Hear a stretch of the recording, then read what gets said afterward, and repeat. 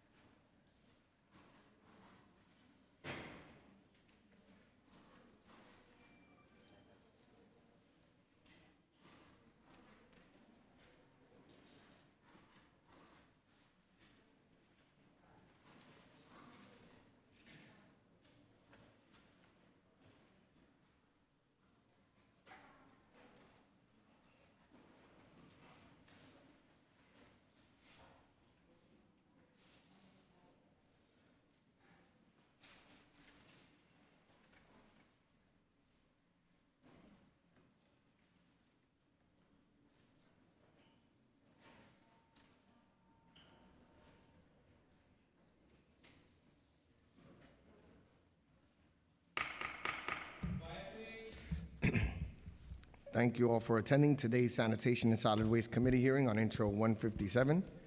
My name is Antonio Reynoso, and I chair this committee. I want to take a moment before we begin to speak about history and justice. Um, for decades, my community, a low-income community of color, has suffered from a long list of environmental injustices, including the BQE being built right through the middle of our neighborhood, operation of toxic industrial uses, and the reason we are here today, the siting of 12 waste transfer stations in my district. My district has 38% of the city's waste capacity, and we deal with the consequences on a daily basis. Every day, thousands of trucks fly through our neighborhood, creating, creating hazardous conditions for pedestrians and bikers while spewing polluting toxins into our air. My district suffers from some of the highest asthma rates in the city, with Woodhull Hospital taking in the most emergency asthma cases of any health and hospitals facility in the city of New York. As a representative for this district, I cannot stand idly by while my folks suffer. I cannot stand by while the rest of the city uses Williamsburg, the South Bronx, and Southeast Queens as a dumping ground. Councilmember Levin and I introduced this, this bill last session with the goal of alleviating the burden of these communities. After introducing this bill, we met the fierce opposition from the industry, which is not a surprising, which is not surprising considering the track record of these companies. Private sanitation is one of the least regulated sectors in the entire city. Their trucks are old and polluting. Safety standards are almost non existent. Wage theft is common, and trucks travel in the most inefficient way, creating unsafe conditions on our roads and poisoning our air. Not even two weeks ago, a private sanitation truck being operated by a drunk driver plowed through nine cars in Borough Park. A crash like this is not an unusual event in the private in- sanitation industry. I want to be clear as we work through this bill, I met with the industry more than I met with the advocates. I hope they would recognize the negative impacts that they were having on local residents and work with me on addressing this issue. Instead, what we got was a full court press from the industry to undermine our efforts to bring about basic fairness to our constituents. I was repeatedly threatened by the industry that they would not improve conditions until I withdrew my legislation. And now, almost five years into this, these companies have done nothing to clean up their act. In fact, things have gotten worse.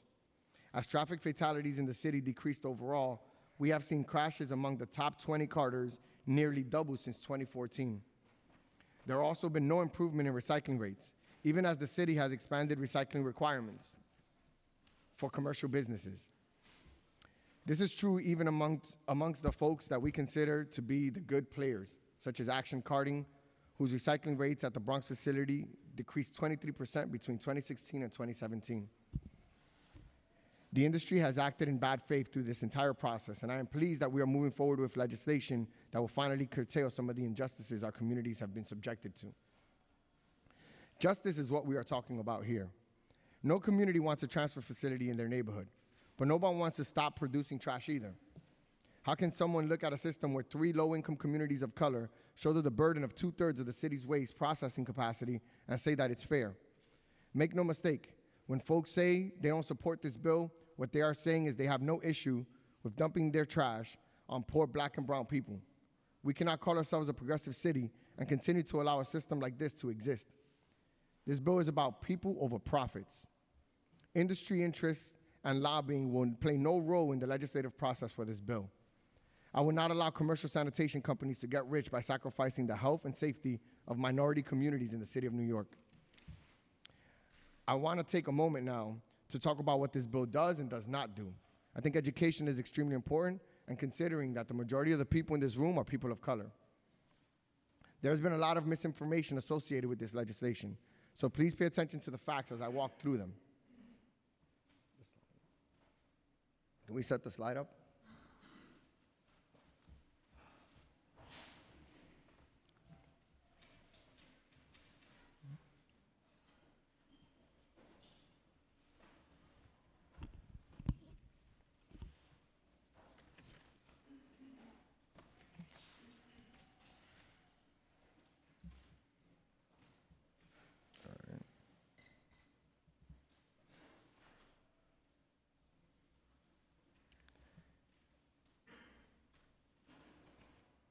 All right. Hope everybody can see it. Intro. Second slide. Thank you very much. As I mentioned, three communities North Brooklyn, South Bronx, Southeast Queens possess approximately two thirds of the city's waste capacity. Thousands of trucks roll through our neighborhoods on a daily basis where folks have to deal with dangerous pedestrian conditions as well as high levels of noise and air pollution.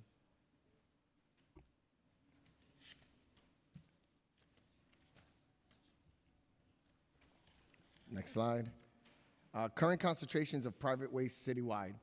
As you can see, between North Brooklyn, South Bronx, and Southeast Queens, the majority of the trash is run through three community districts. Out of 51, three community districts handle all that trash. The rest of the city of New York handles that portion of it. Next slide, please. Here we can see how businesses all across the city send their waste to North Brooklyn, where we have 38% of the city's waste capacity. Studies have shown that air quality in my community is 300 times worse on days when transfer stations are open. 300 times worse. The Bronx is not much better, with 22% of the city's waste capacity and trash coming from all five boroughs, leading to asthma rates that are eight times the national average. That means eight times more children, mostly of color from the Bronx, have asthma related to uh, pollution in these districts. Slide six. Southeast Queens is also overburdened, handling 4% of the city's waste from four different boroughs. Slide seven. This bill will begin to provide some relief to overburdened communities, cutting transfer station capacity in overburdened districts by 50% in North Brooklyn and 33% in the South Bronx and Southeast Queens. We've also built incentives into the bill to encourage recycling and exporting waste by rail, which would take additional trucks off the street. Finally, this bill would ensure that no other neighborhood becomes the next Williamsburg by placing 10% waste capacity caps on all districts in the city, which means no district in the city of New York will ever see more than 10% of the city's trash in their neighborhood after this bill is passed. I want to take a moment to put the 10% cap in perspective. In 2017, a community would have needed to have a little over 5,000 tons of capacity to hit the cap. In 2017, my community has 20,000 tons of capacity, nearly four times the amount that would be allowable. So we're saying no community would take on 5,000 tons, even though my community at this moment takes on 20,000 tons of trash. There have also been accusations that this bill will push trash to other communities. This is simply not true. The city has approximately 46,000 tons of waste processing capacity, of which about only 20,000 tons are used, which means less than half of the city's capacity is actually used. So there are permits for 46,000 tons. Of that 46,000 tons, which the city allows for us to use, we only use 20,000 tons, which means that the trash will not be pushed to other neighborhoods. We will simply be capping the ability for more trash to come into our neighborhoods. My district will still have an excess of about 4,000 tons of capacity after this bill is passed, which means even after that happens, we'll still be taking on 4,000 more tons of trash. The South Bronx will still have 2,000 tons of excess. So we're saying 6,000 tons of trash that it goes unused will still exist in the Bronx and in Queens. To be clear, Williamsburg will be processing a disproportionate share of the city's waste for the foreseeable future. We are simply asking for no more than we have now. Slide eight. Through the provisions outlined in this bill, we will also be able to promote quality facilities. We will be able to promote quality facilities. These facilities have uh, these facilities often have terrible working conditions and are poorly run. Just this past March, a five-alarm fire broke out at Royals facility in Queens, which shut down the Long Island Railroad and required nearly 200 firefighters and 24 hours to get under control. This legislation will provide opportunities for those transfer stations that recycle and use sustainable waste export methods. We want the good transfer stations to stay open. We want the good transfer stations to continue to provide jobs. The bad ones need to go. Slide nine. One of the most important aspects of the city's SWAMP plan or Solid Waste Management Plan, SWAMP is short SWMP, Solid Waste Management Plan, was the commitment to open four marine transfer stations across the city.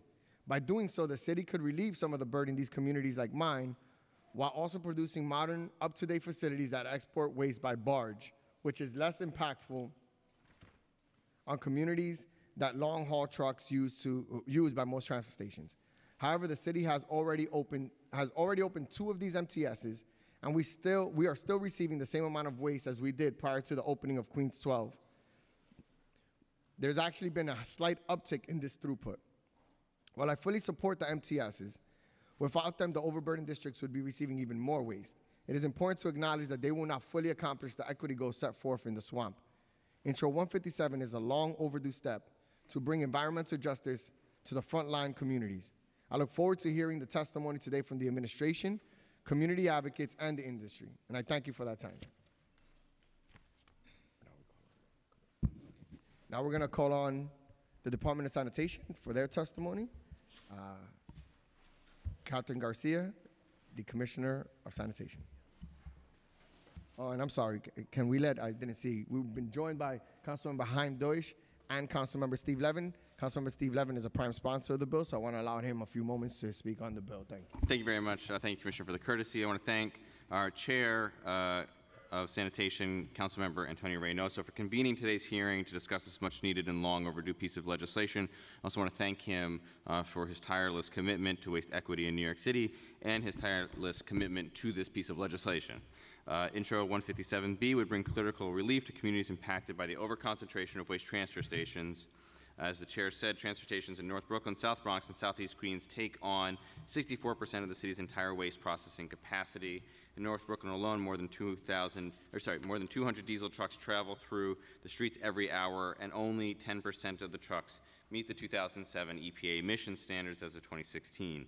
Without new limits, North Brooklyn's capacity could go even higher uh, and allow for 2,000 more trucks per day on our streets. Um, as our chair mentioned, the environmental impact of overconcentration has had on our communities is truly devastating. Air quality in North Brooklyn is over 300% worse on days when transfer stations are open, disproportionately impacting marginalized communities. Rates of asthma are highest among Latino and black children in New York City at 9.8% and 6.9% respectively. This is not a coincidence. This is decades of environmental injustice that need to be corrected. Is also not just our public health that is suffering, it's our neighborhood safety too. Um, the private sanitation industry is very unregulated. Employees often work 18-hour shifts for uns- unfair wager- wages in unsafe working conditions. Uh, as has been widely reported in the last eight years alone, at least 43 people have died in crashes related to private sanitation operations.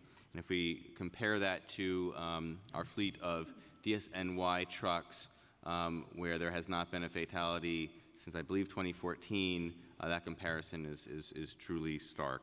Um, in my district in North Brooklyn, we still remember the tragic death of Neftaly Ramirez, killed on his way back home from work at, uh, at Paulie Gee's in Greenpoint. We have to do better. Trucks routinely fail safe, federal safety checks. Hundreds of thousands of dollars in wages go unpaid, and safety concerns persist.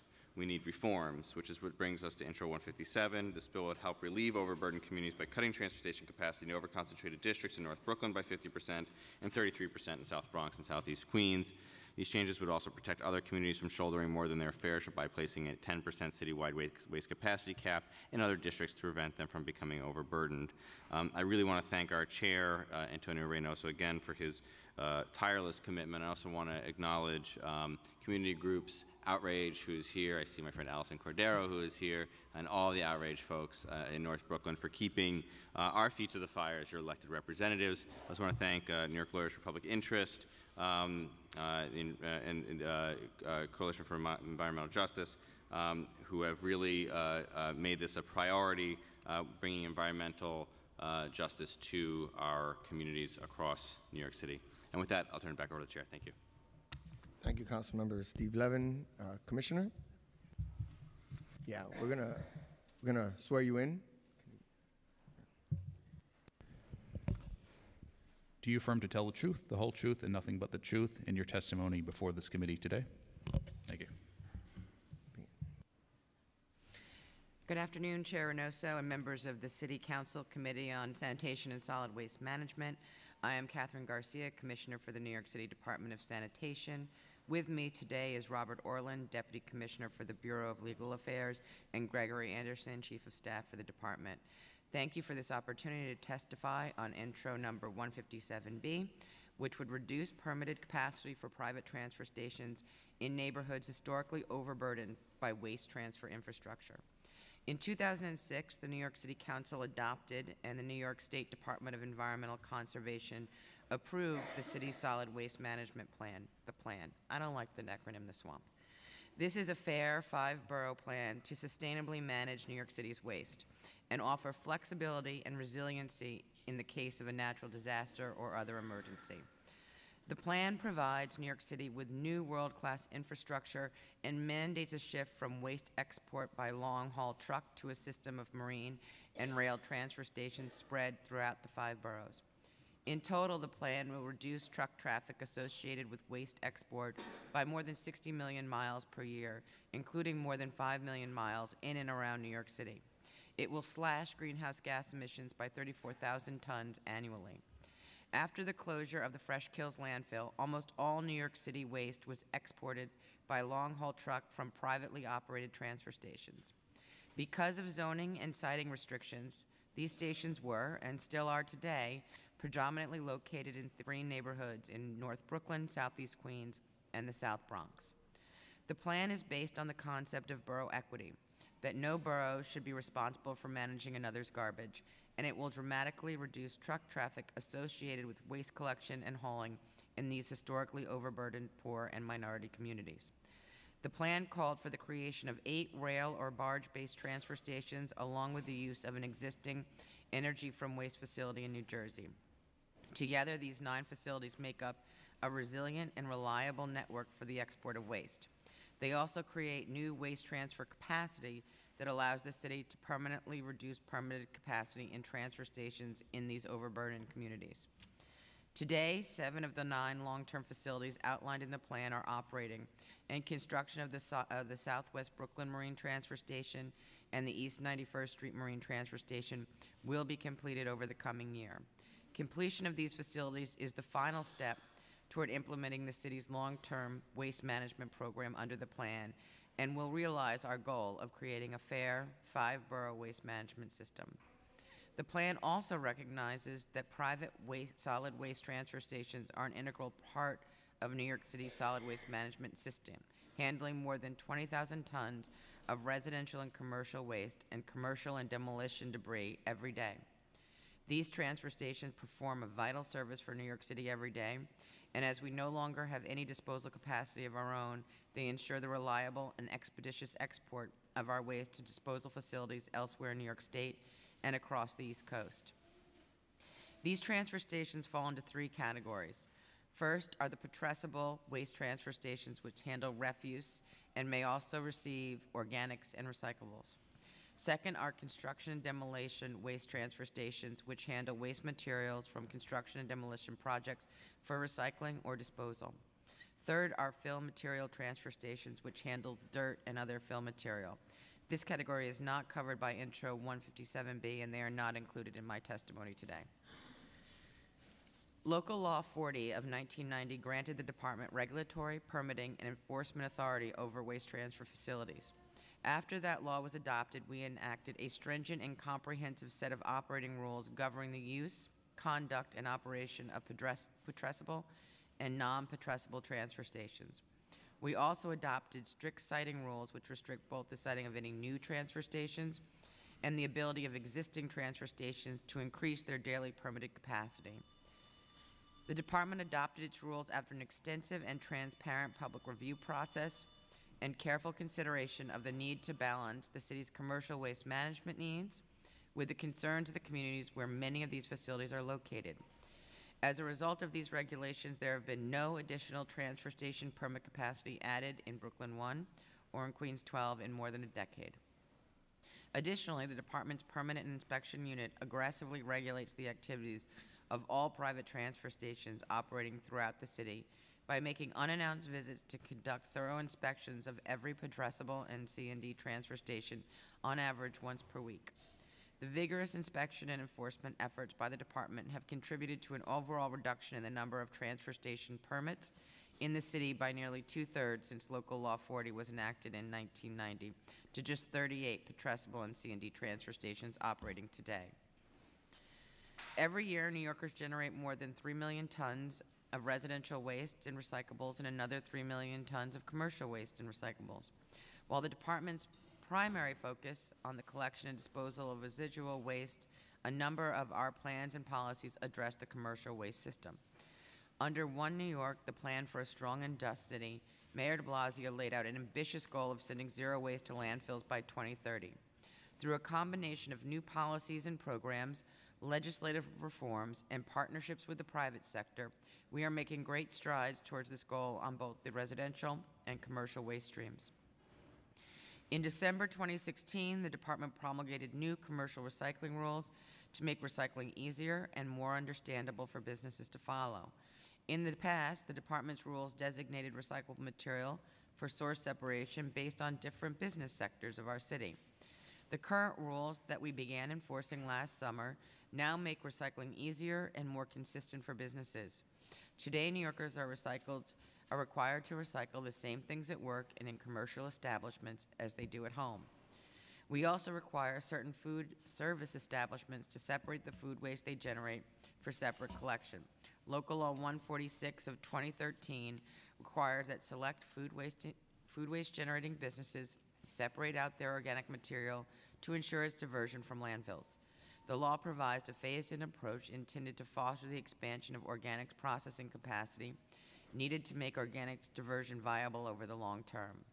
Last year, the department designated the second phase-in of food-generating businesses requir- required to source separate their organic waste.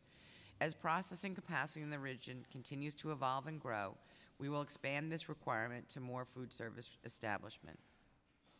One New York City also calls for dramatic improvements to air quality in New York City, including by reducing emissions from heavy-duty truck fleets.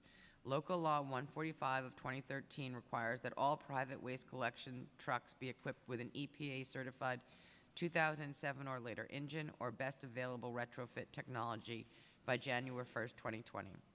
Combined with new federal emissions requirements, this regulation will dramatically reduce emissions of harmful particulate matter and other air pollutants by the private hauling industry.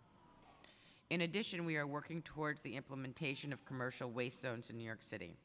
This initiative represents a dramatic overhaul of the private waste hauling industry that will create a safe and efficient system that offers low-cost, high-quality service while achieving our zero waste goals.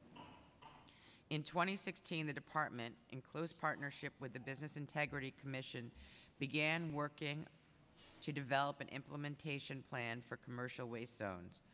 Over the last year, our team has held 150 meetings with more than 100 different stakeholders, including private carters, industry associations, business groups, labor organizations, environmental justice advocates, and elected officials. The concept is simple. Instead of up to 50 haulers operating in a single neighborhood on a nightly basis, there will be just a handful. These companies will be selected through a competitive bidding process that will identify the haulers that can provide the best service at the lowest price for each area.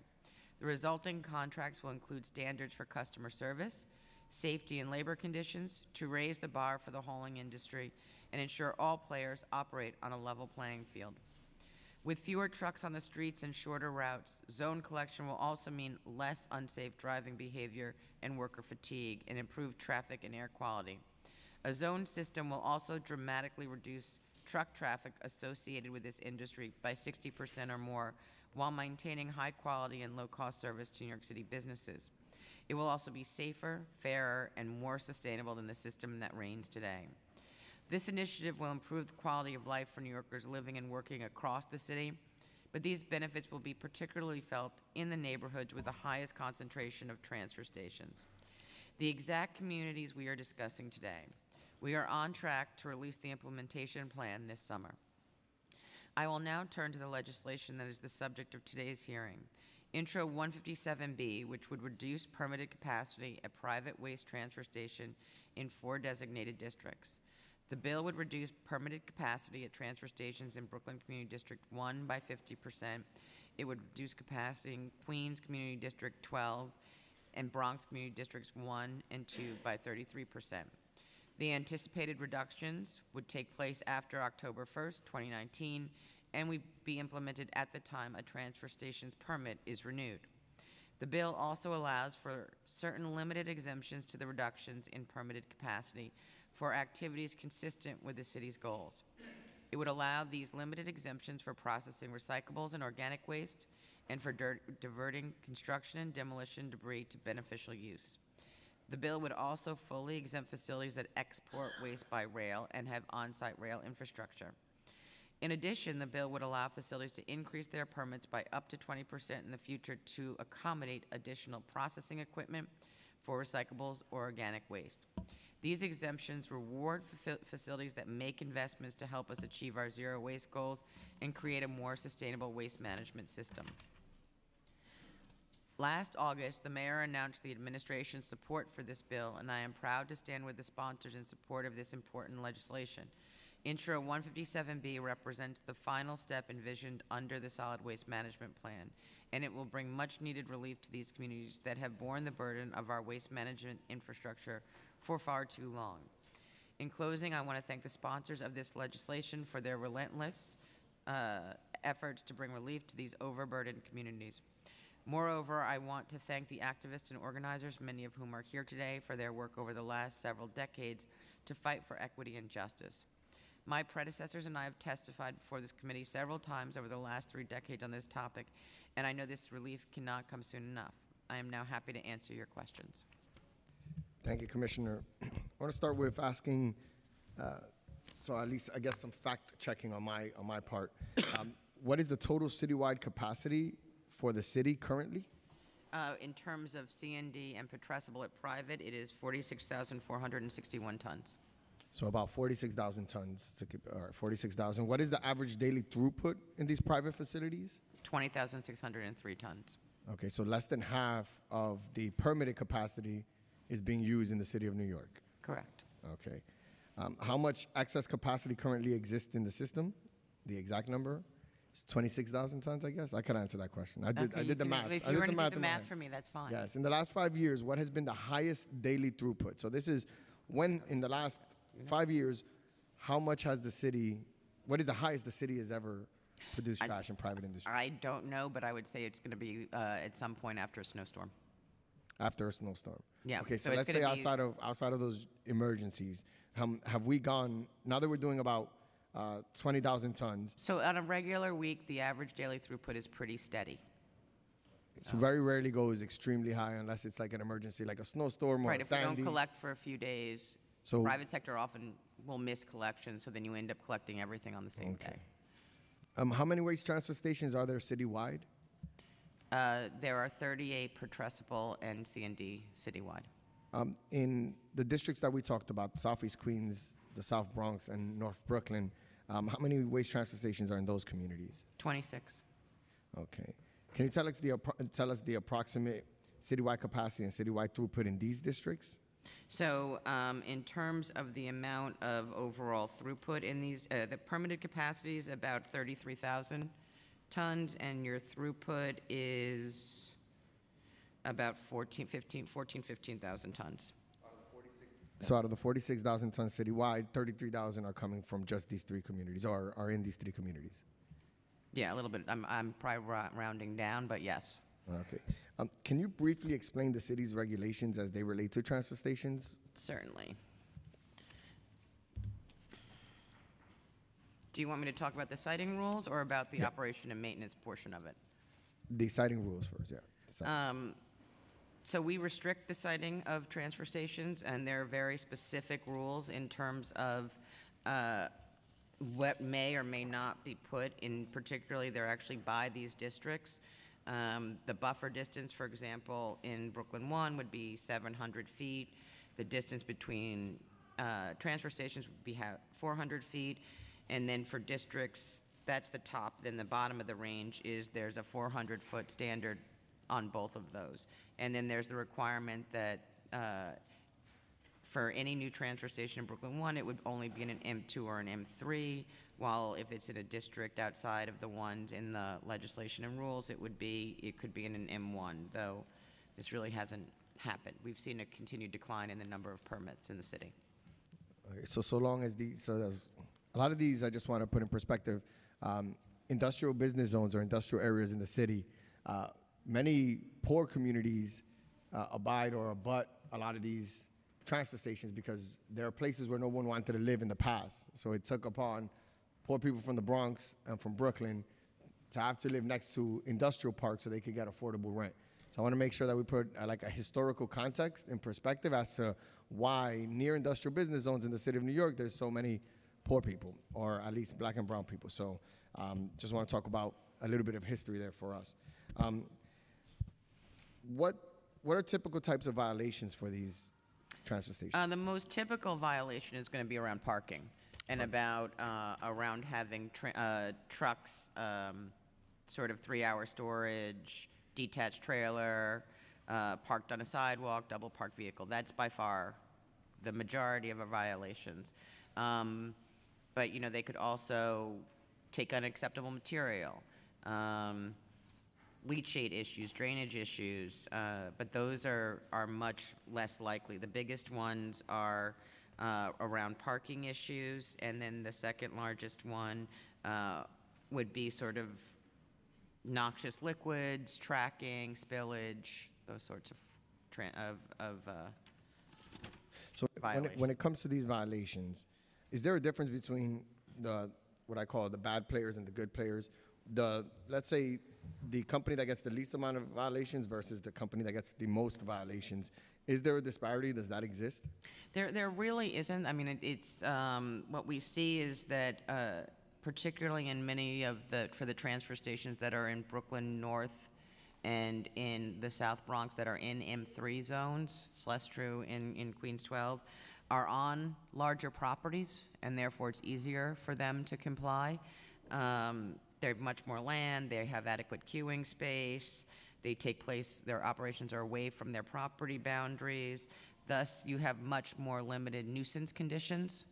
So if your front door is on a sidewalk, it's very different than if your front door is 500 feet away from the street. Um, But most of these facilities have been operating for a long time, and they are subject to very frequent inspections, so we don't see a great disparity between any of the transfer stations in terms of the number of violations. Okay, so it's pretty even across the board, whether we would consider them I mean, I do a think- small or a large. Yeah, no, I mean, I do think that, like, you know, one of the things is this much regulation over this long a period of time, the really, really bad players have actually gotten pushed out of the system. Then, um, has there been any reduction in the amount of throughput in the overburdened district since the MTS is opened? I don't know the answer to that. No. Okay, so two MTS is open, and there hasn't been a significant amount of throughput that has moved around, even though the foundation of the MTSs or the main tr- marine transfer stations and the SWMP plan was to figure out a way to relieve these communities. Right, um, no, so trash. there is a lot less residential material from DSNY going through these communities, but that has been supplanted by new private material moving from other places into those facilities. All right, so then, so what happens is trash from the residential side gets moved to these MTSs, but then these private companies pick up some other type of trash, so it ends up being a wash in these communities of color. So we don't necessarily see a relief related to MTSs or marine transfer stations. So That has not been the experience so far.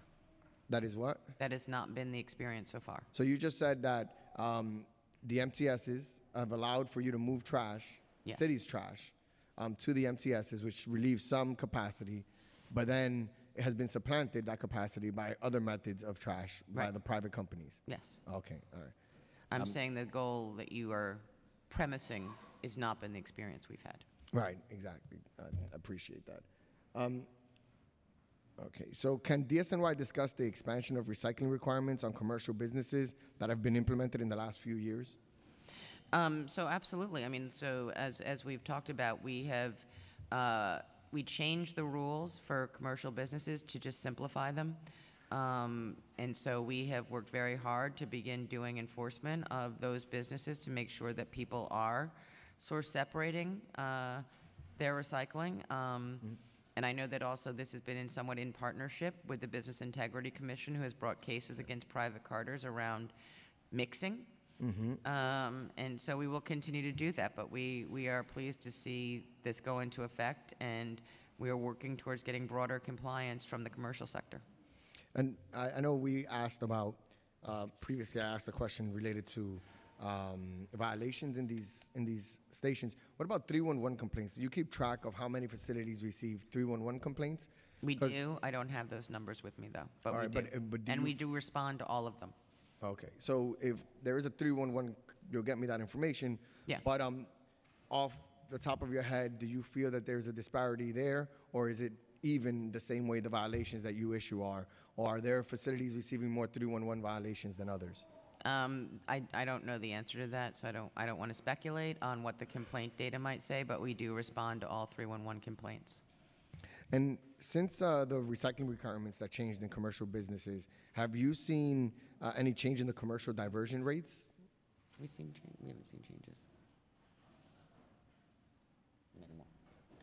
We are still seeing minimal diversion rates, but we also are starting to look at some of the other places where material may be going in terms of uh, pure recycling facility that are not transfer stations. So even as we implemented law to uh, increase diversion rates, um, asking these private carters, I guess, to do more, asking these businesses to do more, we've seen very little change when it comes to diversion rates in the city of New York related to the requirements, the recycling requirements that you asked to be implemented recently. Um, so one of the challenges is that our baseline diversion rate was always just a modeled number. Um, because we, until very recently, did not have any regulatory authority over any paper processors or anyone who was a pure recycling facility. Um, so I didn't have any idea what tonnage was going through there. That will get better, but I don't think that we can definitively say, oh, this has been really phenomenal or really terrible yet. I think we need a little bit more time. Is it because we don't have the information? Yeah, I don't have, I didn't have a baseline. I mean, I had the baseline that we had was a model, uh, not a actual tonnage count. So some private, uh, you're going to hear the private haulers here. They're going to say that they're overregulated, that they're regulated by the state, by the city, by the federal government. But there's no information or very little information related to the work that they were doing related to like diversion rates and recycling in the past. Well, I mean, they, they, they might have taken recycling to a facility that I didn't know what tonnage was moving through there. Um, so no, I, and I honestly don't think they are overregulated. Um, I think that considering uh, what we know about the private industry today uh, and some of the challenges that they seem to face in operating safely in the city of New York, um, that we really need to make some very significant reforms to this industry. Are you familiar with uh, sanitation salvage? Um, not directly. We don't have any direct involvement, so I only am familiar with what I have read in the paper. Okay. Do you regulate in any way, shape, or form like the worker safety? No. That is, rela- who, what agency? Uh, So for most of the worker safety related to operating a vehicle is actually regulated by the State Department of Transportation. So But there are some things that I know that they do that are basically illegal all the time. You are not supposed to ride a step on a private sanitation vehicle. It's illegal it's illegal to do what? to ride the back of a truck At all. at all. So you know that in a lot of these cases, the private sanitation workers have an enormous amount of stops that they got to get through and feel that riding step or the back of these vehicles is the only way they're going to get that job done in a reasonable amount of time. So, so one of the things that I think is inherently true about uh, what happens in the private carting industry is because the way the competition is designed and because of the way that we have allowed it to be regulated, you almost are creating, there's almost no way for a private sanitation worker to complete the job every night without violating traffic standards, without, without speeding, without blowing a light, without going the wrong way, without riding on the back, um, because otherwise they're currently, what is it, like, sometimes they're working in 16, 18-hour shift, which is actually also a violation of federal law under the CDL, um, would be 20 hours. I mean, like, there, it isn't, it isn't actually conceivable to get the work done. Right, right, exactly. There, there's no way in 12 hours they get a thousand stops done without having two workers in the back of a truck and a driver. Um, and those are what I consider the bad players, by the way, Commissioner. The ones that make it so that these workers have to do more hours, that these workers have to hire people off the books, right? That these workers are in unsafe trucks, unsafe facilities, and I'm trying to address that issue. And I, what I want to do is try to figure out a way to get the best players to get the most work and get these bad players that I consider bad players that are doing this to these workers out of the market completely. And when we talk about that and the fact that you, as the Department of Sanitation, are not responsible for that and that there is no city agency necessarily that's responsible for overseeing that outside of the state, it's concerning because, again, there's a narrative out there that the industry is overregulated, uh, but the city does not regulate them when it comes to these, to these issues, especially that seeing a, a, a supervisor from the Department of Sanitation sees a a truck with two people in the back of it, they're not going to stop that truck. No, no. Um, I think that we need to have, like, for, for us to address all of those issues, it will be a broader uh, reform that will have to take place, that I think has to take place through zoning. It will be the only way to actually achieve the goals that you are talking about. How many? So, if you don't mind me, how many hours a day does the does a sanitation worker from the city of New York? Uh, how many hours does, do they work? Their regular shift is eight hours. Um, during snow operations, we are in split, which are 12-hour shifts.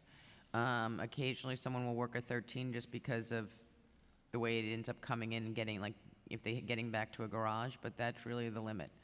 Um, and we try and make sure we're not ever, you know, one of, one of my biggest challenges during the winter season is making sure I keep my nights nights and my days days. And I'm not flipping people back and forth and making it so that they're inherently sleep deprived. Um, and your trucks, what is the oldest truck, let's say, right now? So we're gonna go for the worst truck. Oh my God, I, I, I, I don't know, that, I, I can't say, but like most of our truck, all of our trucks are compliant with, uh, uh, either 2007 standard or BART technology. But most of my, the vast majority of my trucks are, um, post 2007. But would you say most of your trucks are uh, younger than seven years old? Uh, no, my average age is, we are getting to a replacement cycle of eight years, but we're not there yet. Uh, so my average age is probably more like five years, six years. Five or six years? Is probably my average, where I've got like some So brand your new, trucks- and so I'm most prob- of your trucks on average are about five years old. No, I mean, I'd have to get back to you, but that's probably in the right range. Okay. Um, do you know the average age of a private sanitation truck? No, but we did, I know that the Business Integrity Committee did just ask the industry for that information to see if they're coming into compliance with the local law regarding air quality. Um, because, you know, one of the things that they will start looking at when they are doing their permits is whether or not they have a plan to meet those standards. So through a commercial waste zone system, um, we would able we would be able to regulate that. We would be able to tell a company, hey, we don't want your trucks to be older than 10 years old. You are not going to get the contract unless X, Y, and Z happens. That so you won't way. get a contract unless you have high safety standards, you got good trucks, you're recycling at a high rate, your facility's up to par. Yes. We can't do that right now. We can't ask uh, carting companies to uh, to have new trucks or newer trucks. Uh, no, I don't have that authority. You don't have that authority. And I don't but if we believe the do Business Integrity Commission has that authority either. But if we have a commercial waste franchising, we would be able to um, ask them to have newer trucks, which is better for the workers, where they have new trucks. Well, we're assuming that it's better for the workers to have a newer truck. I'm just, uh, I guess. Uh, You know, they like cup holders too. So, so again, part of my legislation, what I'm really trying to do here, Commissioner, is cap the amount of trash that can go through these communities. There's always going to be a new type of trash that might need to get recycled, that might need to be diverted, and these traditionally, that new trash or these new methods always come through our community. What I'm trying to do is say, you know what? If you get a new trash, if you if you're doing organics now, we're gonna do straws later on, whatever it is that we're gonna pick up, we're gonna stop. We're not it- picking up straws separately. Yeah. We're going to do something different with No, straws. there's not. There's not going to be a, a, a There's no straw straw truck. There's not going to be a truck down. just for straws. No, no Um, truck just for straws. The point being is that what we want to say is, you can all the initiatives that you want to bring forward, like organics, we want to encourage that, but we want to stop sending it to the same three communities. Let's start spreading the love of trash to other places, and the only way we're going to do that is if we cap it. Um, and in capping it, uh, there are some facilities that will lose um, capacity. Mm-hmm. Um, and in losing that capacity, they're either going to sell it, or some of them might shut down, or some of them will be able to work through that. Within that, yeah. Uh, but the point here is that we want to make sure that we bring about environmental justice to these communities. I want to talk about another community that got environmental justice. It was a, Staten Island had something. Uh, it was called the Fresh Kills landfill. There were stories, which now I know are not true, that you could actually see the landfill from space. Um, that's not true now. But they shut down the, the landfill in Staten Island and are building an amazing park, a beautiful park, a huge park. And in turn, that community got environmental justice, appropriately so, by shutting down the Fresh Kills landfill and making it into a park. And in doing so, all that trash moved to three communities of color. Um, the Staten Island district that the Fresh Kills landfill shut, was shut down for, that is a predominantly white district. Would you agree with that statement? Uh, South Staten Island is mostly white? Uh, it is definitely whiter than the north side of Staten, Okay. White, okay. Staten Island. Yes, South Staten Island is whiter than the north, north shore of Staten Island. All right, so, um,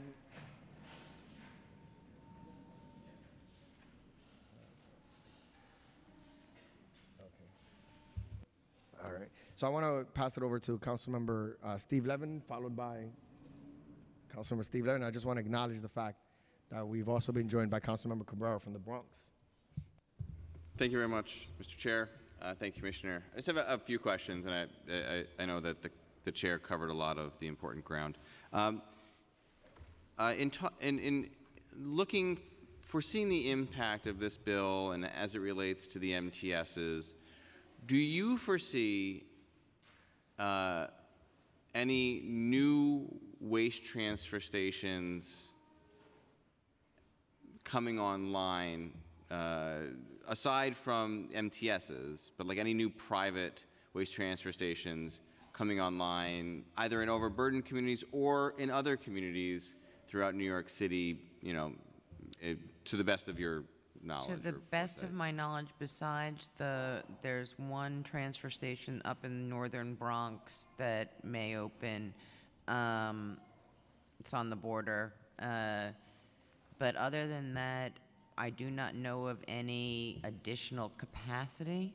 Um, I do know there has been some, there has been some selling of permits, like Cooper Tank built a very big facility, but it didn't o- increase overall capacity in that community district. I don't know of any pure new transfer capacity that's uh, being contemplated.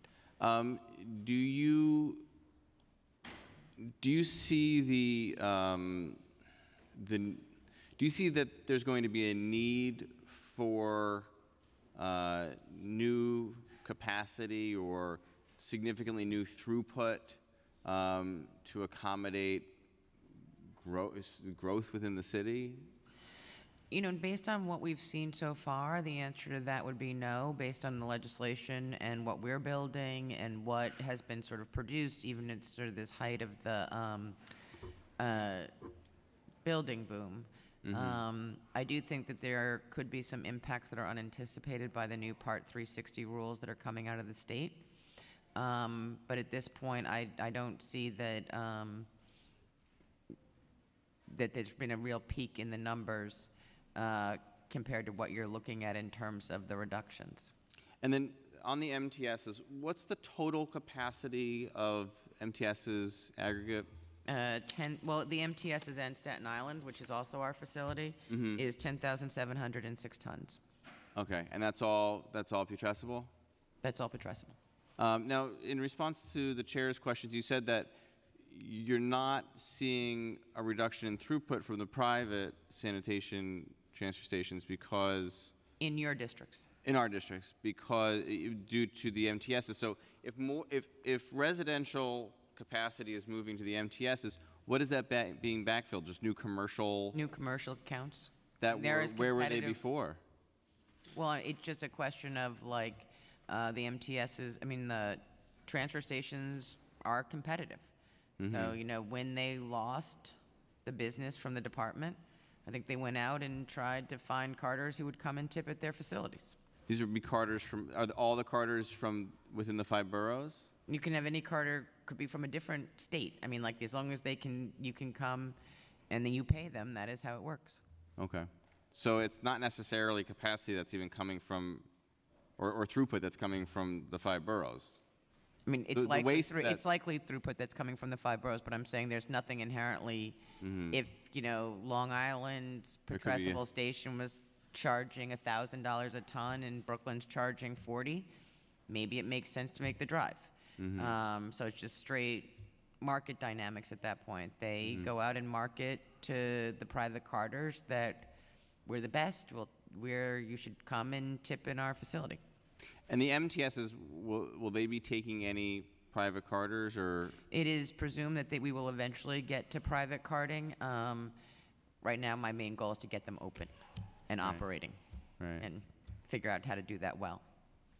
okay. Um, so in your estimation and having conducted a thorough analysis of this, you see that the reductions uh, envisioned by this legislation um, would not put the city at a disadvantage when it comes to being able to handle day-to-day I believe- accessible and also deal with building cycles with booms and busts on the CND? From what we have seen, based on the, what we're projecting in terms of what this current bill says, um, is we believe that the city would be able to handle uh, its growth as well as its uh, building industry. I don't, that there would be, there would be a place for someone to go and transfer waste and make sure that it was moved out of the city. And, and I'm going to just ask you whether you believe this is true, that with the current version of the bill, there will be some waste transfer stations that will likely cut into, the, the capacity reduction will likely cut into throughput. Yes. There will be many where the capacity reductions won't even get to current average throughput. Correct. Um, and um, no, no waste transfer station is, is going to be seeing, um, you know, uh, an actual reduction of anywhere close to 50% of their actual throughput. Because even on the 50 in the in Brooklyn, a 50% reduction, it's just uh, there's there's nobody that's that's actually hitting their capacity without any of the rail or or um, recycling exemptions. Um, There are a few that are close, that are at like 49.9%, Okay. um, 44.9%, 48%. So there are a few that are close. Mm-hmm, okay. Um, Can you explain a little bit more about why uh, the administration supports a rail and recycling exemption? I think it's fairly obvious on its face, but, um, Certainly. So, I mean, for, for rail, obviously, um, most, the back end part of this, so it's not just the private carters or sanitation that comes in the front door. There's a big back door, and the back door is usually a tractor trailer. Um, so we want the back door to be a rail line rather than a diesel tractor trailer, or be in part because it requires so many tractor trailers to actually move the waste uh, compared to one rail line that might go out any given night. what what about recycling? And then recycling is like we want to make sure that materials are being beneficially reused. Um, we think that's important, just in general, to not be landfilling all of the city's waste. And so we wanted to try and incentivize the transfer stations to do the right thing. And sometimes that requires them to make investments in equipment, uh, both on the C and D side as well as the um, commercial side. But we think that it's the right place to be. And how about organics? Well, you know that is my favorite, uh, but we do want we do want folks to be that is that is the most greenhouse gas intensive portion of our waste stream, and we do want to make sure that we are really ensuring that that is getting beneficially reused either as an energy source or as a soil amendment as part of composting.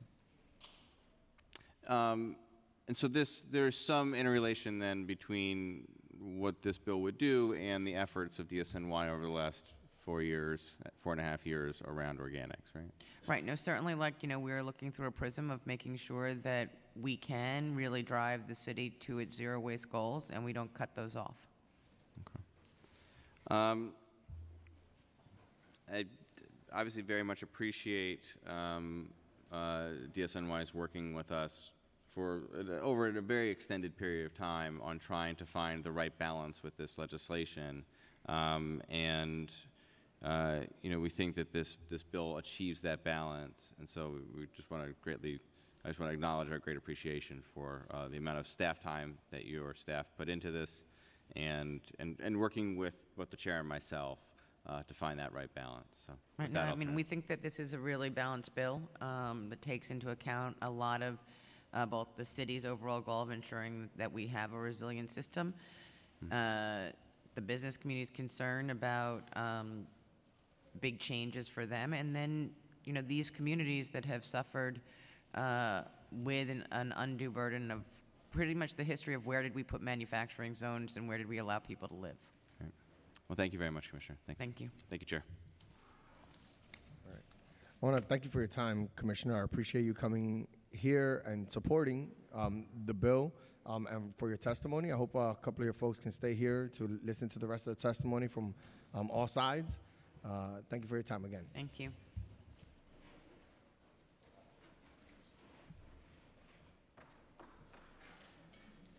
Tegir Senti or Set Setney, I can't read it. Leslie Velasquez.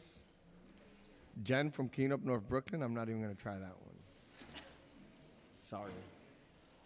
uh, Chen Bao Kin, and Melissa.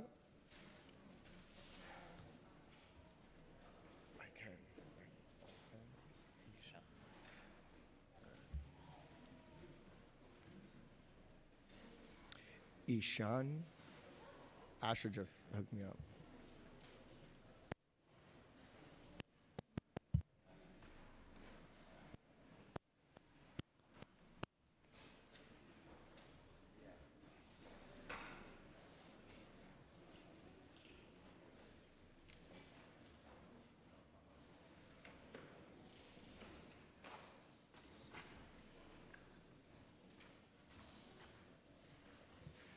So we have um, we have seven panels that are going to be speaking today. So in an effort to not be here till six, we're going to have a two two minute time limit on your testimony. So try your best to, to stay within that time. Um, and we're going to start from this side, moving from my left, moving right. So where's that? Where's that stuff? Put it away. The, the names of the people. Sorry. I just want to be able to reference people. So, Shen Bao, you can start. Yes.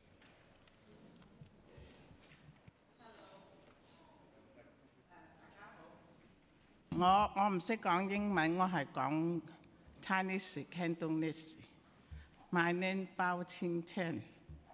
诶，我喺六零九 Metropolitan 住咗十年，十年之内咧都系 咁多卡车经过，垃圾车、卡车不停咁行，又嘈又尘大，诶、污染太大呢个。阿方小姐帮我翻译。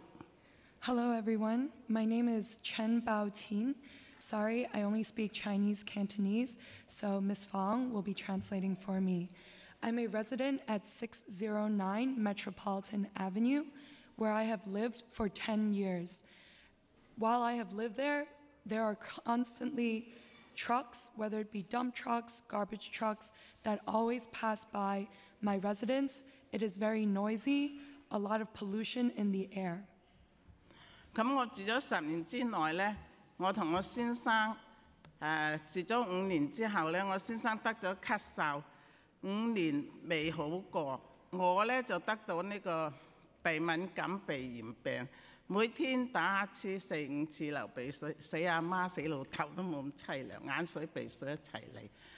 咁我先生咳呢，就係誒睇過咩醫生都唔會好，照肺冇事，咩都冇事，就係、嗰個卡車太多，垃圾車太多，污染太大，嗰啲空氣太混濁，我又住地下，哇！嗰啲塵啊，嗰啲聲撲埋嚟，我哋間屋灰塵太多。 Of the 10 years that my husband and I have lived at 609 Metropolitan, five, after five of those years, my husband has um, my husband has developed symptoms of coughing. For me, I have uh, had a nose allergy. I'm constantly sneezing. I can't breathe very well. The two of us, we live on the first floor of 609 Metropolitan Whenever the trucks pass by, we always hear them, and there's a lot of dust that comes into our apartment.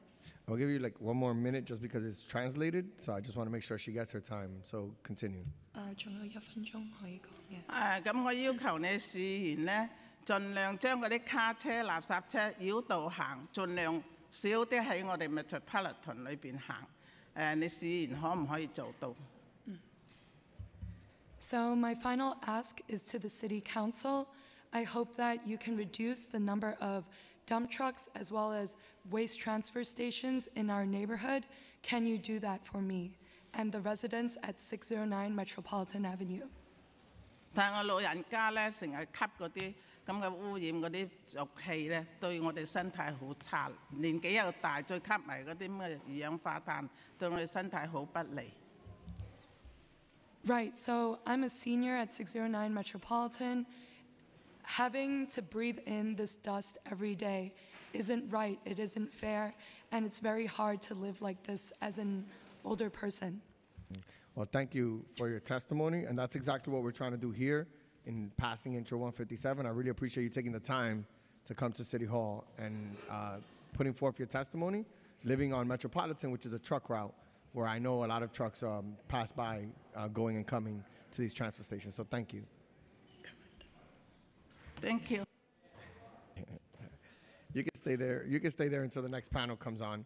Melissa, you want to go next?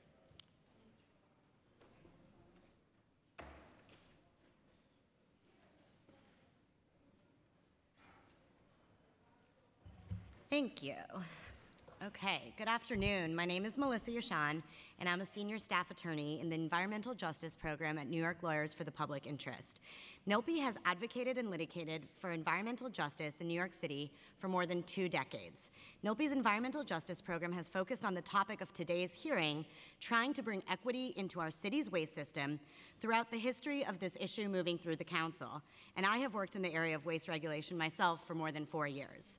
I would like to thank Chair Reynoso and the sponsor of this important legislation, Councilmember Levin, as well as the other members of the Sanitation Committee for the opportunity to discuss the troubling problem of the inequity in our city's waste system, and for continuing to support and advance waste equity legislation.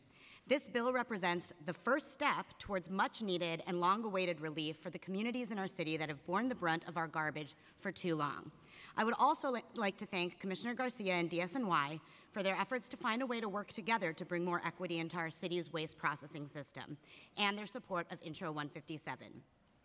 The fact is that waste is one of the most unequally distributed environmental burdens in our city, and one the council has the obligation to finally address by passing Intro 157.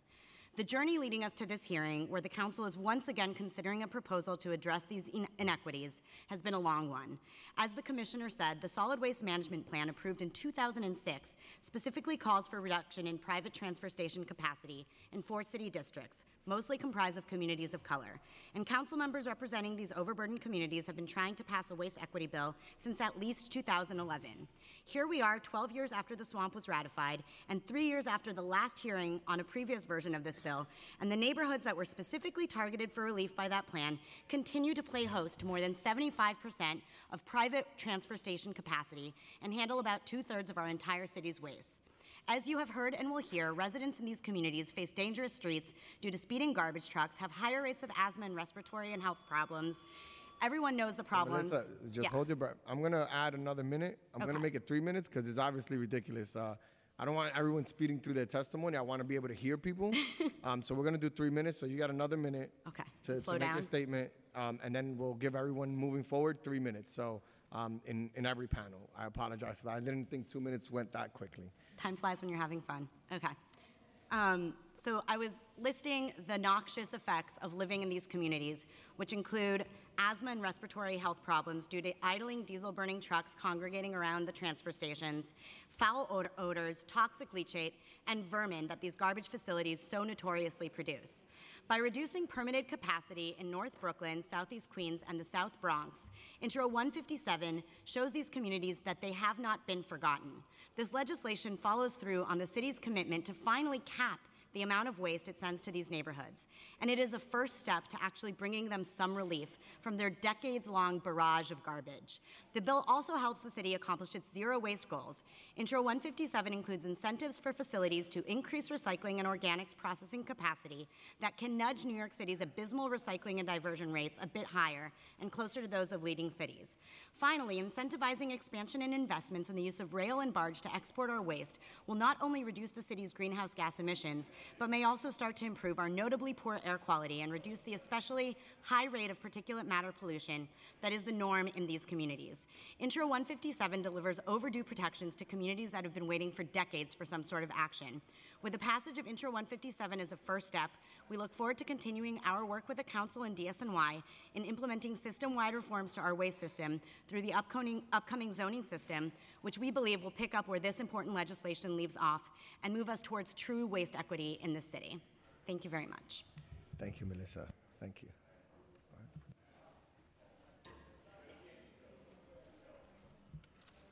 Hello, everyone. My name is Leslie Velasquez, and um, I manage environmental justice programs at El Puente.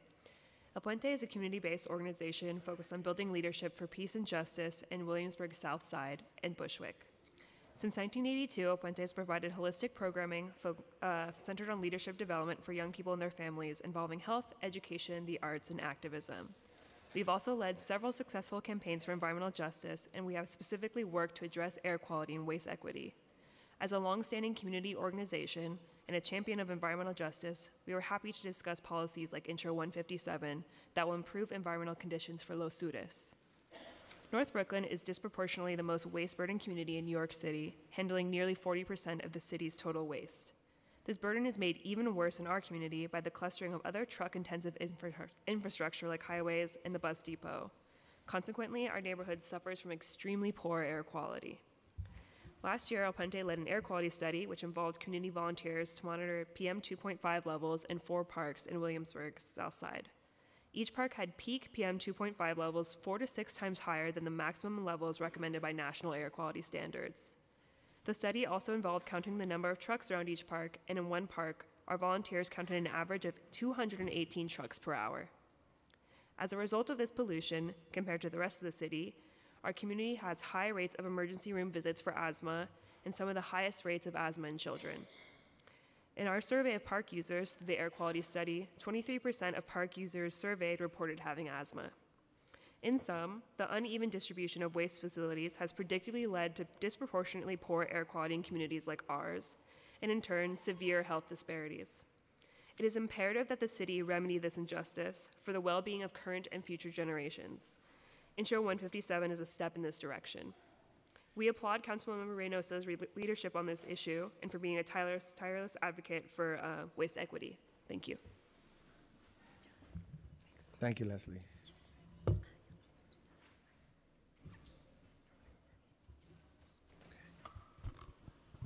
Hi, my name is Tag, and I'm with Cleanup North Brooklyn.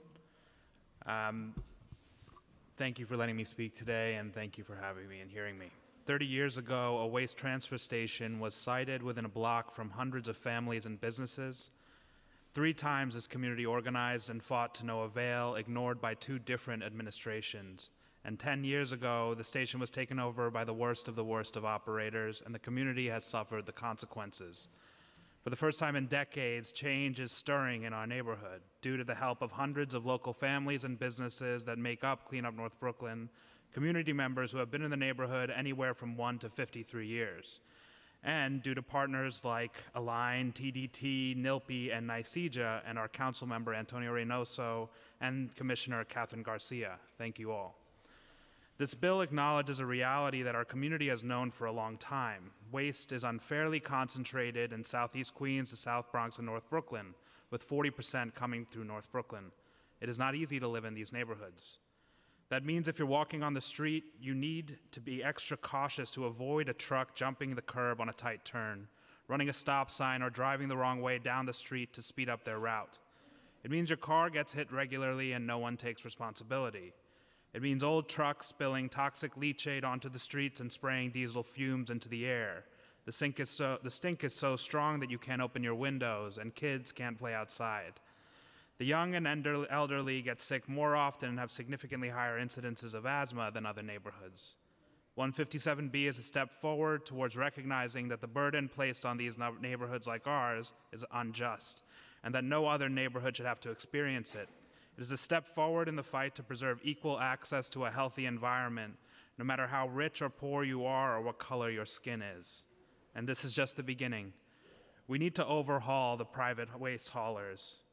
Employees and pedestrians are dying on the streets with absolutely no consequences due to a lack of training and reckless driving encouraged by company management. Private haulers create fake unions and steal money from their employees. Meanwhile, their owners live lavish lifestyles. These companies break the law and hurt people with impunity.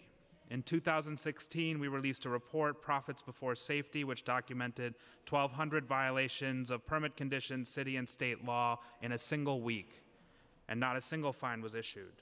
Once we have a cap, we need to establish a new way of keeping these bad actors accountable. We wholeheartedly support this bill and urge you all, let's not stop here. Until we can stop the abuses of the private car hauling industry, no neighborhood will be safe. Thank you, to Tahir. Thank you. Jen? Good afternoon. I want to thank you for allowing me to be here today. And I want to thank my district's council member Antonio Reynoso for continuing to be an advocate for environmental justice and waste equity for our community. My name is Jen Chanchana. I'm a native New Yorker, originally from Long Island City. I moved to North Brooklyn when I was 19 years old and have been living and working in North Brooklyn for the past 10 years. I'm here to represent my community, which handles nearly 40% of New York City's waste. It's no doubt that capping the amount of waste for overburdened neighborhoods such as mine will significantly improve the severe environmental harms that we have been experiencing for so long. With the high number of waste transfer stations as neighbors comes the high number of trucks coming through our community, an increased number of risks and dangers my neighbors and I experience on a daily basis. My community and I compiled a short video to show you the violations and issues that we face on a daily basis. So I'm going to play that as part of my testimony. So these are the doors at Brooklyn Transfer. This means that kids living nearby can't go outside and play because it smells so bad. This means that families can't open their windows. It's a problem that the community's been dealing with for over 20 years. Si tiene aire acondicionado, se mete por el aire acondicionado. Si tiene un abanico, se mete por ahí. Y eso me ha afectado mucho porque he tenido que ir al hospital dos o tres veces. Porque te afecta la respiración. La respiración y, y el asma. Y la última vez yo tuve dos semanas Estuviste dos semanas en el hospital. en el hospital. This is a perfect example where the driver has left the truck uh, unattended. Often the drivers will step out to grab some lunch and not return for 30 minutes. So leachate is the little drips of trash and filth that comes out of garbage trucks. What they're supposed to do is they're supposed to spray it into their facility where they have an oil water separator that, that prevents it from polluting the streets, from polluting the sewers, from polluting everything. We regularly watch them power wash this leachate into our streets. Trucks blow through stop signs, they ride onto the sidewalks, they intimidate bikers and pedestrians when they're rolling up into the station, drive the wrong way down the one way street. They'll steal our parking signs so that way residents and workers can't park where they're allowed to park. And it really feels like they have a hold on our streets, like they control our streets, like they're lawless in our streets, like they can do whatever they want, and like the health and safety of the people in our community come last. Luchar contra esto. Nobody's enforcing anything against them. The Department of Sanitation isn't doing anything. The people who are supposed to do something aren't. So we are. And we're just a community of the people who live here. They have a lot of money. It's not going to be easy. I said, but we got to keep going. No give up. I feel helpless with these people. I feel helpless because they got the money. Money's power, I guess. people's health are more important than your business. That's what we should say. Our health is more important than your business. So thank you for watching. Um, I hope that helped clarify. Thank you, and I just want to acknowledge the fact that we've also been joined by Councilmember Rafael Espinal and Councilmember Brad Lander. Just want to say that five-star carting, um, two employees, two union employees from the Teamsters came and testified here uh, one day. The next day, they got fired Yes. for testifying about the conditions that they were working under in in Five Star. I think that's how we found out that the station was privately owned as opposed to owned by the city, and that's what motivated a lot of community members to get involved and start to educate themselves about the issues surrounding. Uh, and I just want to say that we had a rally. We had a rally to fight for union jobs. Two days later, and they were reinstated into their jobs. So it just shows that one, if you're going to testify here, we're always going to have your back, especially if you're talk- talking about safety conditions and, and what you think is a problem. Um, but it's also making sure that this that we continue to fight for high quality jobs in this industry and that we don't allow for um, employees to uh, scare or use scare tactics or threaten employees when they come here to testify about their working conditions. So I want to thank uh, thank Clean Up North Brooklyn for everything that you've done in organizing and bringing attention to this issue. El Puente, thank you so much as well. And of course, thank you for your legal representation always um, from NYLPI. So thank you for this uh, um, panel. And I think uh, Councilman Brad Lander wants to say a few words. Thank you very much, Chair Reynoso. Uh, I won't go on too long, but I just wanted to come and express my solidarity uh, with you and Councilmember Levin and your constituents and your community, with the advocates from North Brooklyn, with the workers in the private sanitation industry. I'm proud to be a co-sponsor of 157B, and it is time for this council to do everything we can to move forward. Obviously, the inequities that communities in New York City, uh, City face, a total unfairness in where we process our waste and what that means for people's health and quality of life is really unacceptable. It violates the idea of the city's fair share siting system established in 1989, and we haven't done anything meaningful about it. This 157B will be a strong step forward, and I also hope that we will continue to push forward hard toward the district model to make sure that we can reduce unnecessary truck trips, uh, really achieve environmental and sustainability goals, and protect workers. Obviously, what we have been seeing through, pub- through ProPublica uh, reporting and other worker organizing in recent days is just appalling. So thank you guys for pushing us to do better. Uh, I hope we'll be able to move forward quickly with this bill and then continue to make progress in cleaning up the commercial waste industry. Thank you. Thank you, Councilmember Lander. And I think you made reference, um, Sagir, to uh, a worker that was uh, run over by a truck, and the truck driver and the helper, because this is a third person on the truck, said that he was a homeless man that jumped in front of the truck when he was actually being employed off the books by Sanitation Salvage. Um, one of the affected, that one of the stations that would be affected, they have a something that we call fake unions um, that go in there to take opportunities away from real unions, like the Teamsters and the laborers that have been doing this for years, that actually represent their their workers. They have a fake union. They get they don't care about safety. They're willing to lie about a, a off the books worker. Um, those are the type of people we're targeting. We are going after those folks. I want to make sure that I'm clear that I'm going after locations like that that put profits over their workers. Like we won't allow that to happen in the city council, and this legislation would help start address that on top of commercial waste franchising. So I know that you want more, and I'm focused on that. And I just want to make one last reference to the video. This is not a waste transfer station in the M3 zone that's like really deep, because if the truck was doing that, if the truck was doing that in an M3 zone where there are other trucks and there's space and things like that, it would be more justified. This is across the street from their home. Uh, they live in 120 Thames, and what's the address of that? 115 Thames. So there's uh, literally two houses away, uh, two houses numbers away from them, and they're not the ones on the corner. So I want to be mindful that the waste transfer station that you see there is across the street from their home, or right next to their home. This is not one in the middle of, you know, the middle of nowhere where it makes sense, where you would have trucks doing what they have to do. It's right next to a residential home. We're trying to change that in North Brooklyn, the South Bronx, and Southeast Queens. So I want to thank you for your testimony and your time.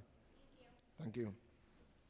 Our next uh, panel is Kendall Christensen, Miguel Martinez, Carla Cruz, Steve Changaris, and I thought there was another one. Or another person left.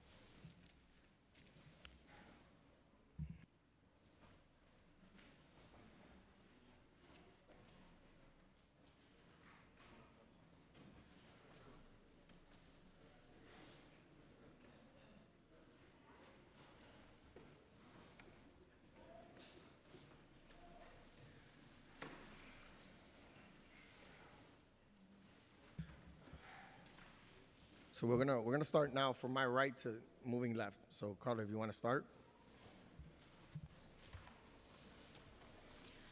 Good afternoon. My name is Carla Cruz, and I am testifying on behalf of Greater New York LECET. We are the Labor Management Fund of the Mason Tenders District Council, and we represent over 1,000 hard worker members of Laborers Local 108.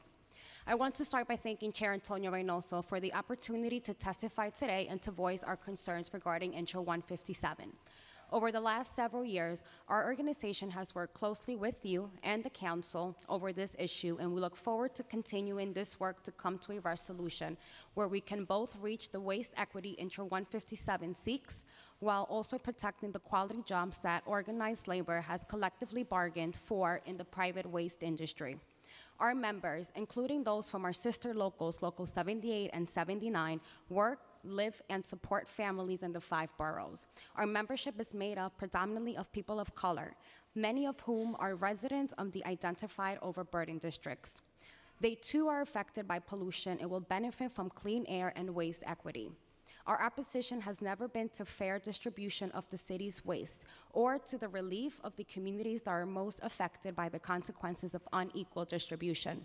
Our opposition has always been and continues to be the short sighted plan the council has proposed for possible displaced workers, especially those who work for employers who provide careers, rather than low wage jobs for New York residents.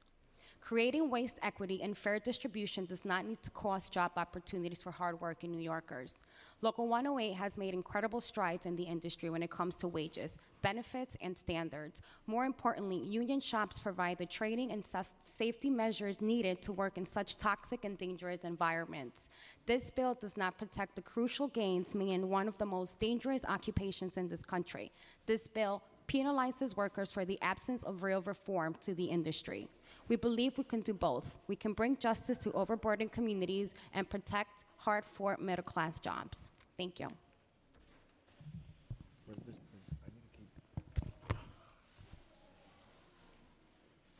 Go ahead.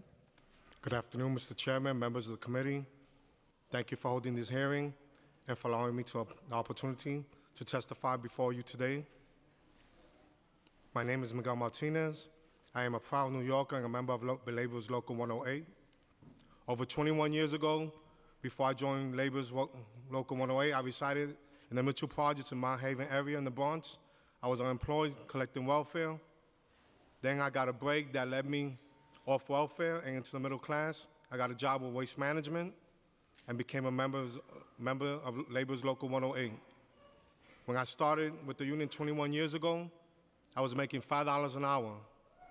Today I am making $23 an hour with benefits that provide my family and I health care and retirement security. Thanks to my union job, I was able to buy my first home in the Throggs Neck section of the Bronx. I used my union annuity fund to put down the deposit for the new home. Mr. Chairman, members of the committee, I know what income inequity is. We must protect middle class jobs, especially now when the city continues to create low wage sector jobs. I am confident the City Council can achieve both waste equity and protect good quality jobs like the one that I have. Thank you for your time. Thank you for your testimony. Kendall? Good afternoon, Chairman Reynoso and members of the committee. Um, my name is Kendall Christensen. I'm here as Executive Director of New Yorkers for Responsible Waste Management, which is an organization of locally owned and operated waste service companies that provide comprehensive collection, processing, and disposal services for the waste, recyclables, and organics generated by New York City's businesses. I have two statements uh, to submit. One is on behalf of High Tech uh, uh, Resource Recovery, which is a transfer station and recycling facility in North Brooklyn. And the second is on behalf of New Yorkers for Responsible Waste Management. My testimony is organized as a series of questions, much like those that you and Councilmember Levin asked of the Commissioner. Um, the only point I would make is I encourage you to look at those questions for the committee to consider is that um, the Department of Sanitation should be required by the committee to do a full-blown environmental impact statement of the impact of Intro 157.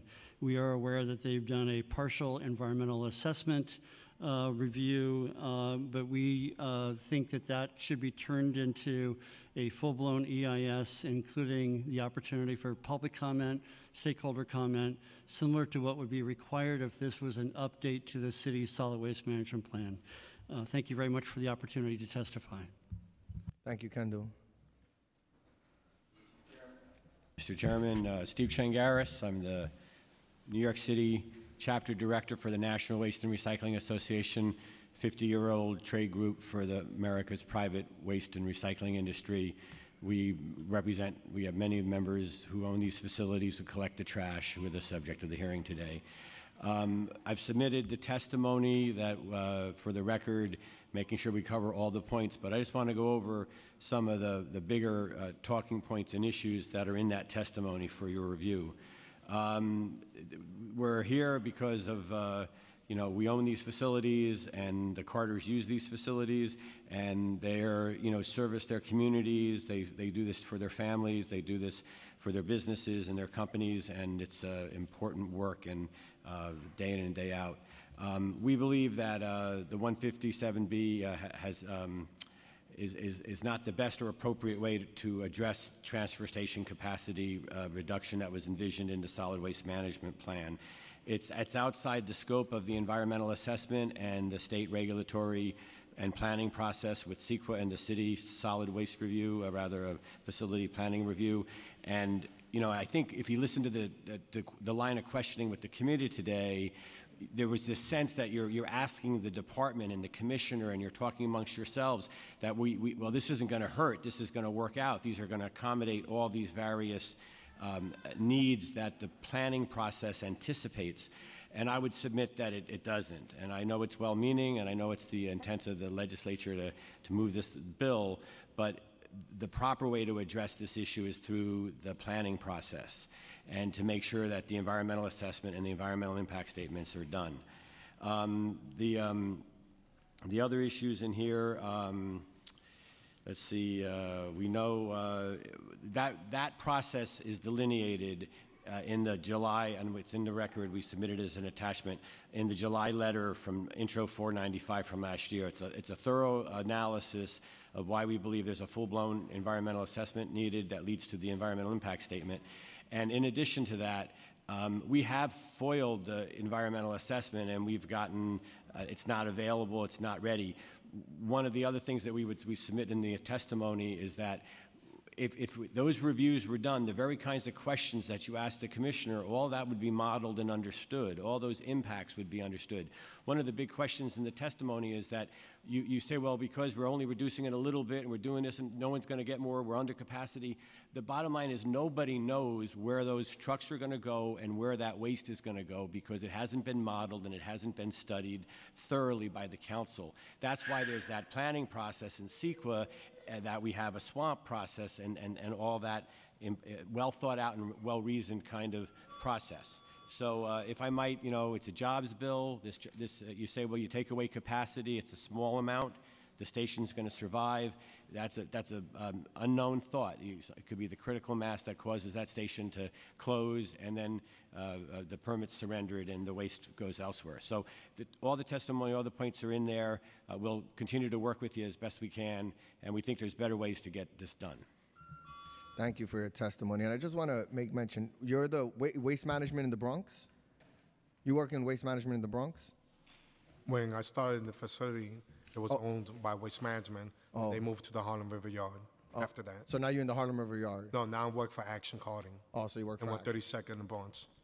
Okay. Does uh, that action card, do you have a rail facility there? Um, there was, it was removed. Okay. At the end of our property, it begins, it goes through New York Post into Waste Management's facility. So what we're trying to do um, in both cases with waste management and action carting, if there is a rail, we want to exempt those those type of locations. We think what we're trying to do is move trucks off the street. So if you come in a regular truck, you dump your garbage, and then we can move that garbage to rail, and the rail takes it to wherever it has to go, or a barge, which is the like the boat. Uh, we have access for barging and for rail on our So- property. So we're trying to exempt those facilities that, that have rail. Um, we're trying to see if we can expand recycling. So if they're changing from straight putrescible to some recycling, we're also going to give them 20% increases. So I just want you to know that in the work that we did, we paid attention to um, what we consider good players, of which Action Carting and Waste Management are both players that we think do well by their workers. As you can see, you guys have good employment, you have good pay. Um, you know, they're not giving you 18-hour work days um, unless you ask for it, um, which is illegal actually. So no, they're not giving you 18-hour work days. Um, so my point being is that what we want to do is figure out a way to keep supporting the action cartings and the waste management, um, but eliminating the sanitation salvages of the world. And you are not sanitation salvage by any way, shape, or mean. And I hope that everyone in this room has read the ProPublica articles, all three of them.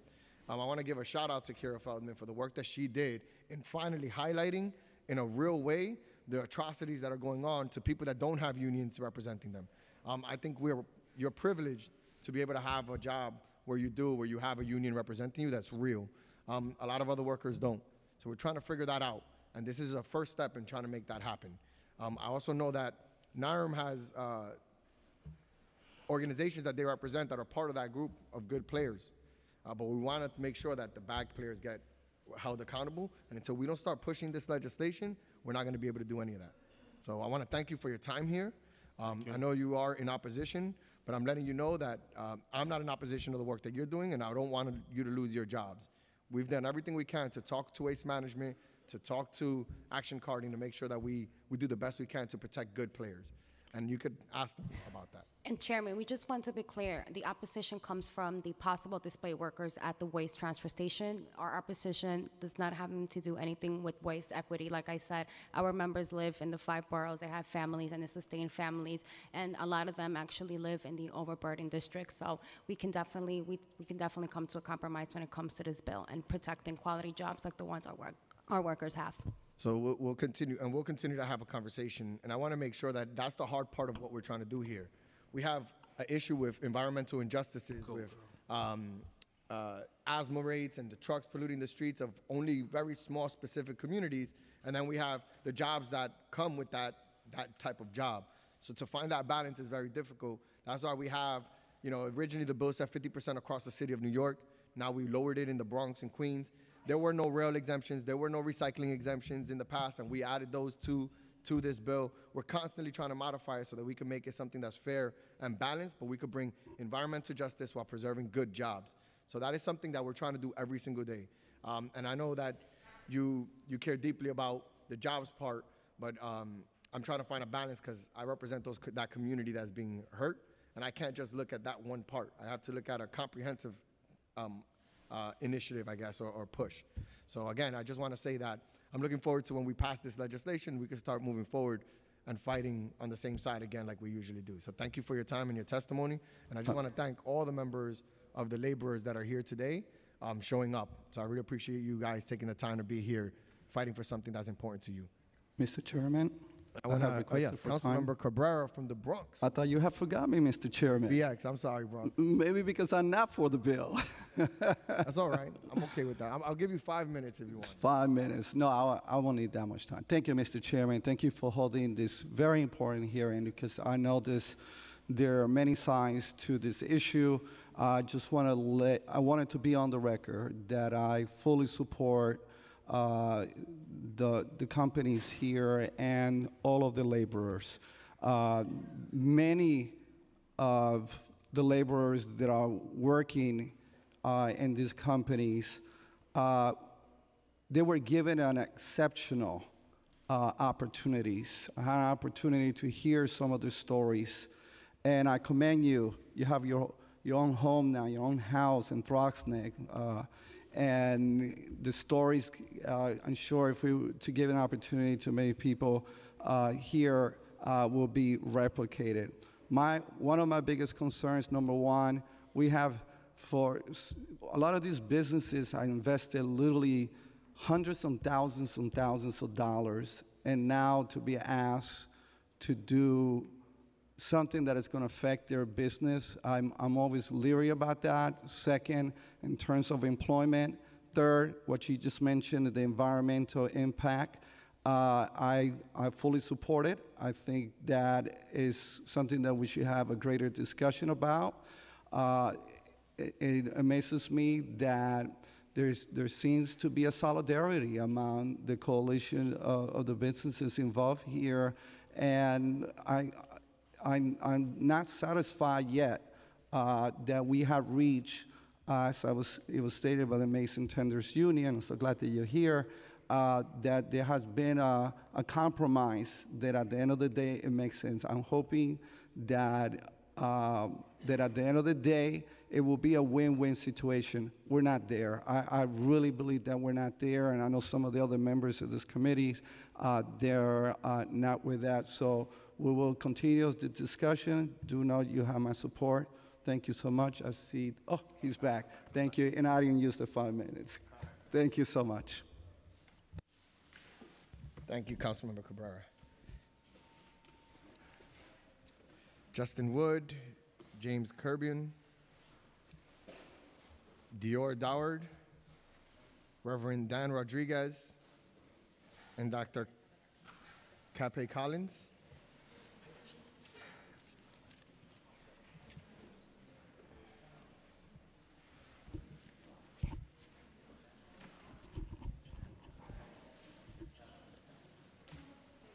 Then who? This is five. One, two, three, four, five. All right, I think we lost one. Justin, we're going to start with you and then move left. All right. Sure. Thank you, Chair Reynoso and uh, members of the committee. So I'm Justin Wood. I'm the Director of Organizing and Strategic Research at New York Lawyers for the Public Interest. And a lot of the uh, arguments about why this is a very necessary and overdue bill, um, many of us remember being here. I think it was four years ago, and even before that, there were previous versions of this bill. Um, so I'm not going to make those arguments again, but I do want to because I spend a lot of time looking at the facts and want to try to make sure we stick to facts in this conversation um, to correct some of the misinformation that we're hearing from the for-profit waste industry. Um, and I have, they didn't really deliver it, but I have copies of, of Mr. Toscano's uh, testimony and the so-called New Yorkers for Responsible Waste Management here. Um, so in the many years since you, Council uh, Chair Reynoso, and your predecessors uh, in the council have been fighting for waste equity to just make this gross inequality a little bit better, we've had a chance to see how things will work out if we just leave it alone and don't pass this bill. And things are getting worse on a number of fronts, not better. And those are the facts. So in Southeast Queens, where we've had a marine transfer station, um, thankfully taking Department of Sanitation waste for a number of years now, and that's a good thing. We want those trucks going there, and we want those good union jobs at that marine transfer station. We want that waste going out by barge. Southeast Queens has actually had a, a big increase in the amount of waste being trucked into that environmental justice community by the private companies. So we can't just leave it alone. We desperately need this legislation. I also want to highlight the direction that recycling has gone in. Um, we're fully on the side uh, of workers represented by the laborers, Teamsters, and other legitimate unions. We're also really aware that recycling and organics processing, recycling the huge amount of our waste stream that's organics, creates five to 20 times more good green jobs than simply trucking this waste in and out of environmental justice communities to landfills. Unfortunately, the private waste industry is going in exactly the wrong direction with it, recycling. We just fi- finished adding up all of this year's uh, just submitted signed sworn statements that the uh, transfer station owners submitted to the state DEC, and they actually, even with these new business recycling rules that the commissioner talked about enforcing, private waste transfer stations trucked 200,000 more tons to landfills in upstate New York, Ohio, Pennsylvania, Virginia, other environmental justice communities in other states than they did in 2016. So that's with the new rules. Things got worse on recycling, and that means we're leaving a huge opportunity for green job creation um, on the table. Organics, the private transfer stations haven't made those investments. They're barely doing any organics. It's like less than 1% of that food waste is being recovered. Again, we know there are issues with recycling markets in China that explain some of why they're not marketing their material. Last I checked, we weren't marketing organics to China. We can do that right here and create jobs right here. And this bill correctly has an exemption for creating those kinds of recycling and organics operations. Um, so I'll stop there and we'll submit some re- written testimony, but just wanted to take a chance to, to correct the record on, on some of these issues about job creation and recycling. Thank you. Thank you. Appreciate it. Make sure you make sure the, the red button is on when you click it. There you go. Good afternoon. My name is James Kerbeam. I'm here to represent the Teamsters Union, Local 813, the private sanitation union in this city, and also President and Business Manager Sean Campbell. I'd like to first off thank this council for allowing me to testify for my union today. The Teamsters local unions represent thousands of New York City workers in this industry, including the Department of Sanitation workers, private carting, construction and demolition workers, transfer station workers, and recycling workers. We want every job in this industry to be a good job. That means safe jobs, dignified jobs, and also a family sustaining job, and jobs that can our workers can retire from with security. Most private transfer station workers that work in this industry have to toll and unacceptable working conditions with low pay, with uh, few prospects. Recent media coverage has exposed how many sanitation companies treat their workers that operate garbage trucks. Think about how they treat workers that work in the transfer station now, that they can actually house and hide from the public eye. You, may, you heard today from other folks that testified that this will cause union jobs. They will be lost. That's a joke to most workers in this industry because of the sham unions that you have talked about, Councilmember Reynoso. Sanitation Salvage, Mr. T, Five Star, Borough-wide, Liberty Ash, and many more use these sham unions. And these sham unions I call out today, Life 890, Rise 124, United Service Workers Local 339, and there are more out there that pops up on a daily basis. They, pro they protect the employers, not the workers. The gold standard transfer stations are the Department of Sanitation Marine stations. Safety is the priority. Workers have a Teamster contract they are, that they are paid a fair wage and have good health care and pension benefits. Most of all, they are treated with respect. They are treated like humans. When those facilities were announced as a part of the solid waste management plan, the whole point was to stop this sending of all the trash to the privately owned facilities that often mistreat their workers and the communities around them. This waste legislation will be protection for the South Bronx, North Brooklyn, and Southeast Queens, which have been dumped on for way too long. The Teamsters care about the environment and the justice because of our members do not just work in these communities, but they live there too. Our kids deserve a better future. The Teamsters is in full support of Bill Intro 157B, and we encourage this council to vote yes for it. Thank you for your testimony. Ah, good afternoon. Um, so I just wanted to just kind of preface my, my testimony um, with this idea that thank you for speaking about workers and laborers. One of the things that we want to do is have a large investment in worker-owned cooperatives because we believe that that is the way that we'll be able to support this new plan moving forward with um, community members that actually represent EJ communities. Um, so thank you for the opportunity to testify. My name is Dior Dowd, and I am the founder of Green Fiend, which is a Bronx-based environmental consulting firm that uses hip-hop to teach sustainability through compost education and green technology. And so at Green Fiend, we adopt the principles of environmental justice and have recently started a worker-owned cooperative designed to process organic waste locally. Green Fiend Organics is a graduate of Green Workers Cooperative located in the South Bronx, and our goal is to collect and process organics locally to ignite community-based solutions that secure waste equity for Bronx residents. Green Fiend envisions a society where resources and benefits are equally shared and where people play a role in community decision-making in proportion to the degree they are affected. We are fighting for a South Bronx where future generations have clean air, well-resourced and community-controlled schools, safe streets, green space, good jobs, and more control over the wealth that their labor actually creates, which is why we started a worker-owned cooperative. Sometimes inspiring changes comes without reward or recognition. And so the South Bronx has long dealt with an unfair share of the city's garbage. From truck traffic to the smells to the noise of the transfer stations, our community is forced to live within the toxic burden caused by all five boroughs. And as we know, as a result of racial zoning, that is why that has happened. That is why, as a Bronx resident, I took the class with Green Workers Cooperative because I shared similar goals of green development.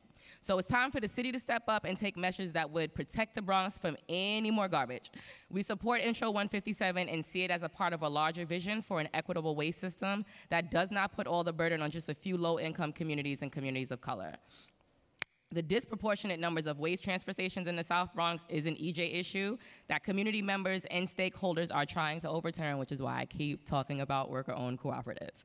Grassroots organizing presents its own set of challenges, like finding commonality among national groups with different frameworks. However, this bill allows us to practice engaging in an alternative system where our collective interests are represented in different ways. I'll leave you with a rhyme for the time because we do our hip hop.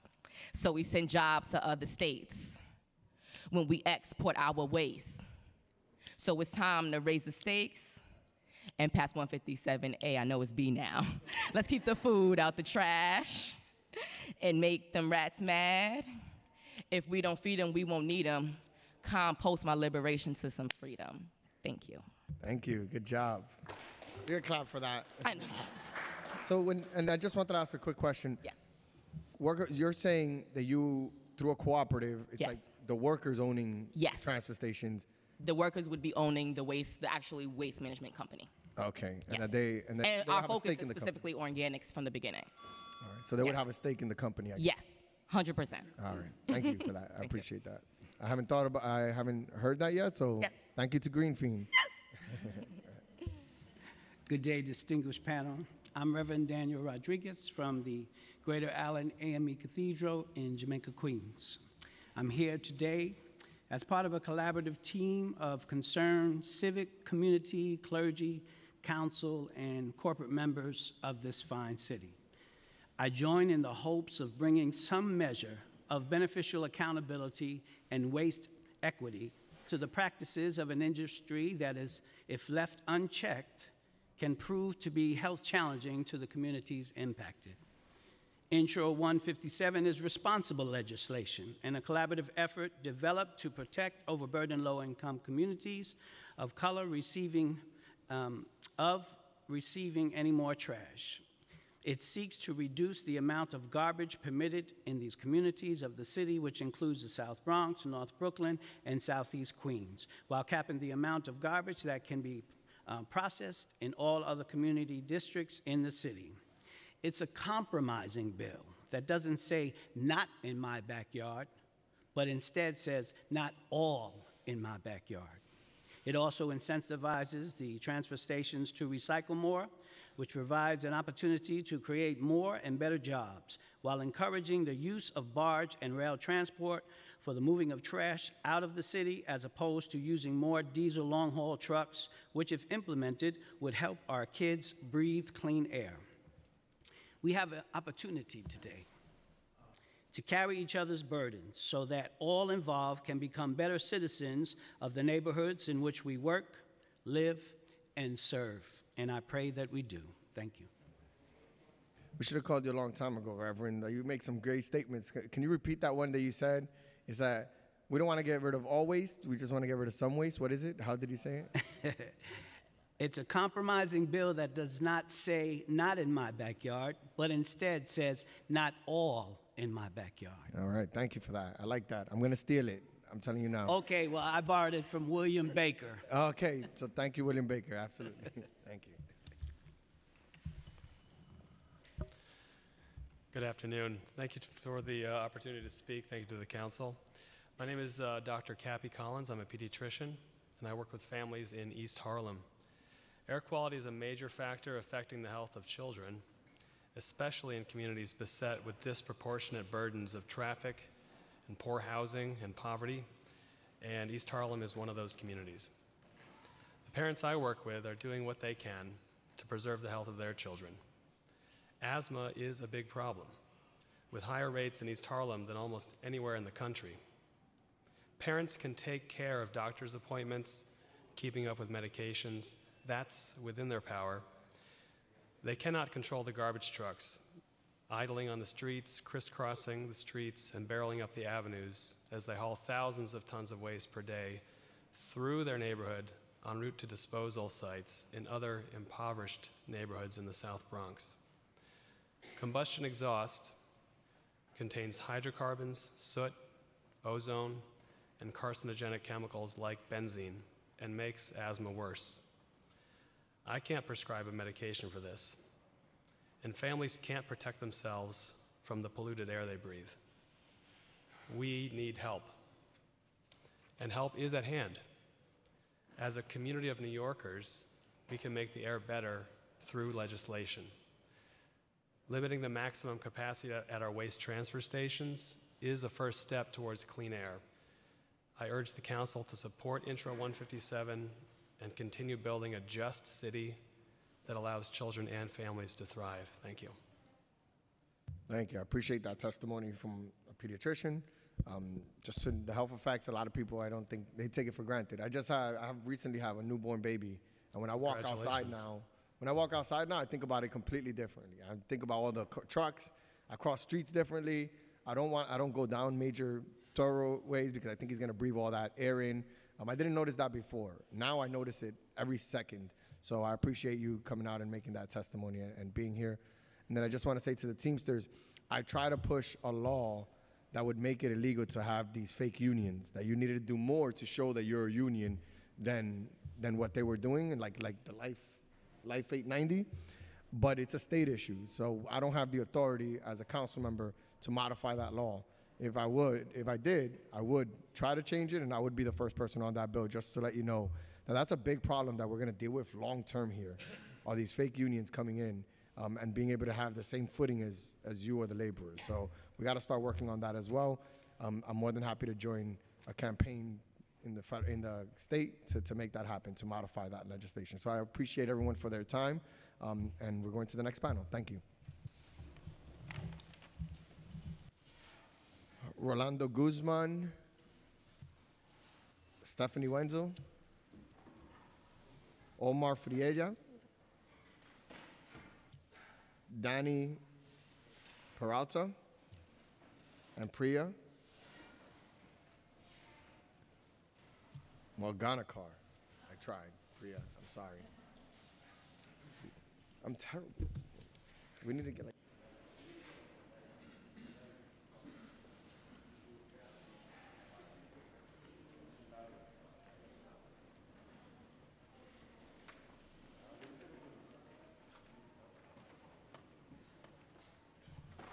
So Orlando, we're going to start with you and go down as well. Hi, um, good afternoon. Uh, my name is Rolando Guzman, and I'm the uh, Deputy Director for Community Preservation at St. Nick's Alliance.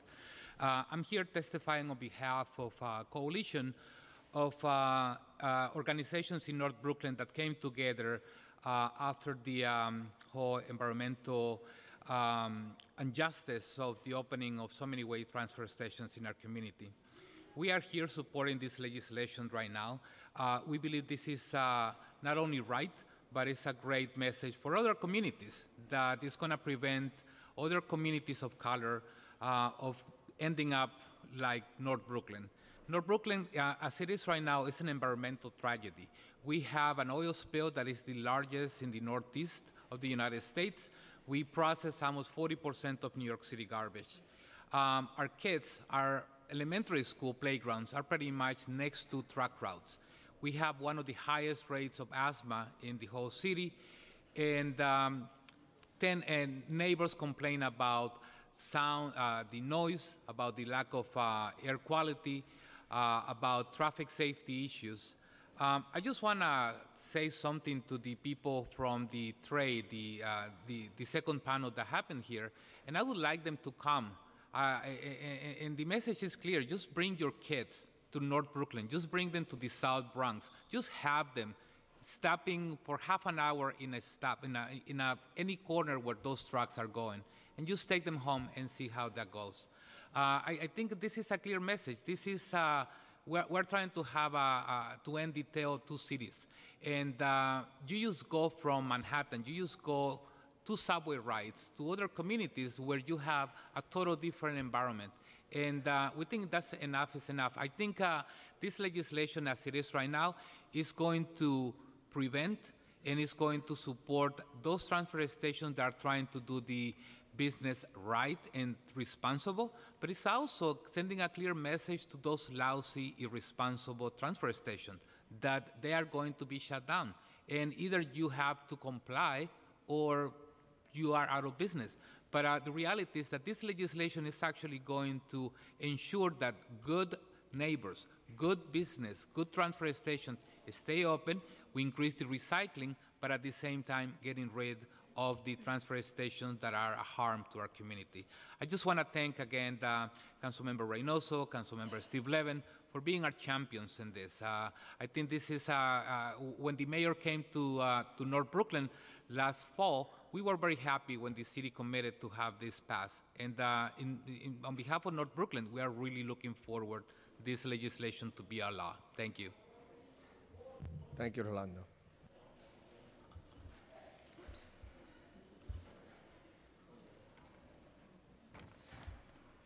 Are we ready?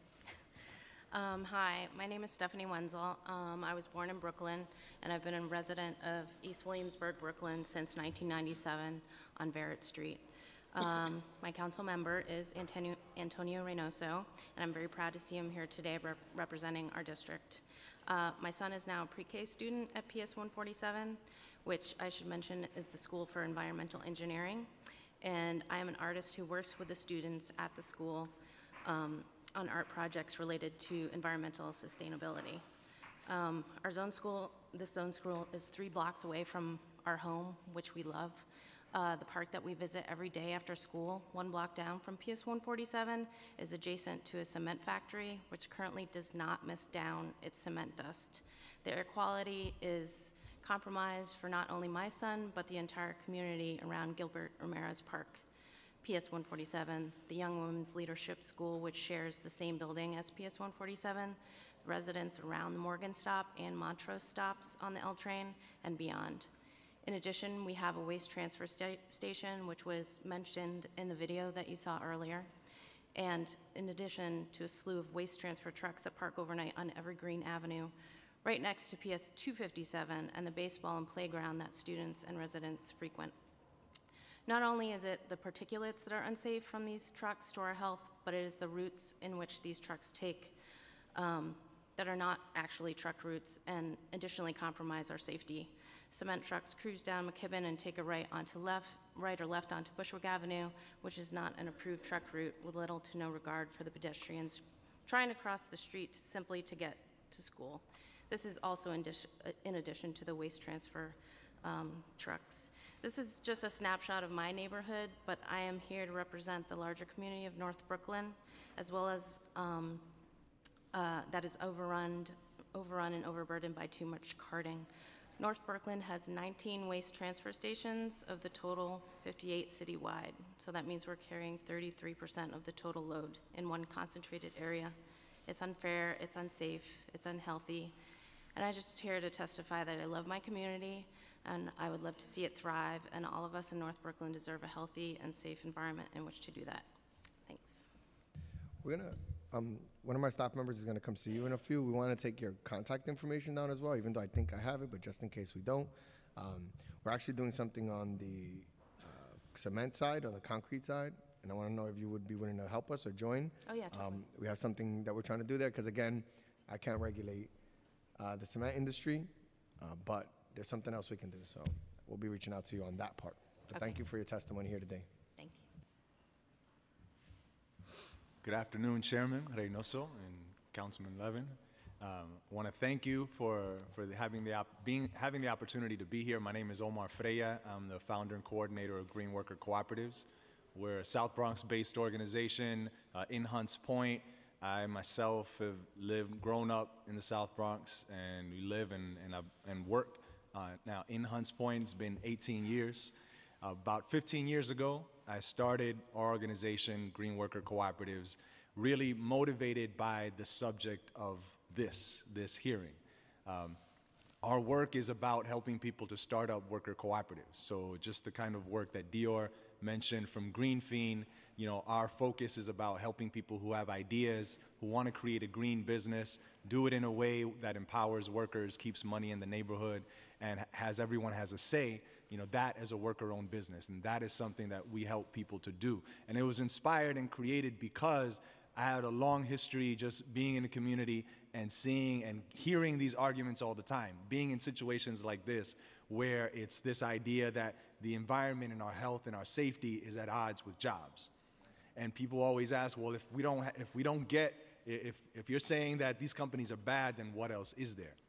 You know, what are the options? And too, too often, for too long, we've been put in this position, and being that we're, in, we're poor, a poor community, that we get put into this position where we're expected to take whatever job is thrown at us from whatever business owner whose really only motivation is to get as much money as they can out of their business and have no regard for the, for the workers that are there and the community that's surrounding them. So that's why we're about creating businesses where people actually have a say and they own the business. And if you do that, then you're, you're, you take more care not just of the work uh, of the business itself, but the community that the business is a part of. You don't gash your own neighborhoods. You don't, you don't run roughshod over the community that you live in because you hear it, you hear from people all the time, unless you're being forced to by the owners of the business. So for us, this is why it's really important to re- create opportunities where we restrict the negatives and emphasize and create opportunities for the positive work. So the work of Green Fiend and creating composting, um, we've got a number of uh, worker-owned businesses that are all doing different kinds of work. They're artisans who are recycling and creating creating opportunities out of out of crafts. Uh, others that are doing composting, like Green Fiend and others. And it's it's really exciting, and, and we're thankful that the city has been supportive of the worker co-op initiative in doing that. And we want to see we are want to see and are creating more opportunities in every sector and want to ha- be able to have opportunities where we can create jobs for people in doing this kind of work and move beyond this idea that we can ex- we have to take whatever there is on the argument of the owners that you know there is no other option. We've got we've got lots of options and we're creating them ourselves. Thank you. I really appreciate the Bronx being here too, by the way. We need as much support from the Bronx as possible. There's a lot of love in Brooklyn for this legislation, not so much in the Bronx. So anything that you could mm-hmm. do to help us, you know, get some folks convinced to support this bill would be helpful. Yeah, no, we, we have a lot of politicians who buy into a fake argument. All right, appreciate that. Uh, good afternoon.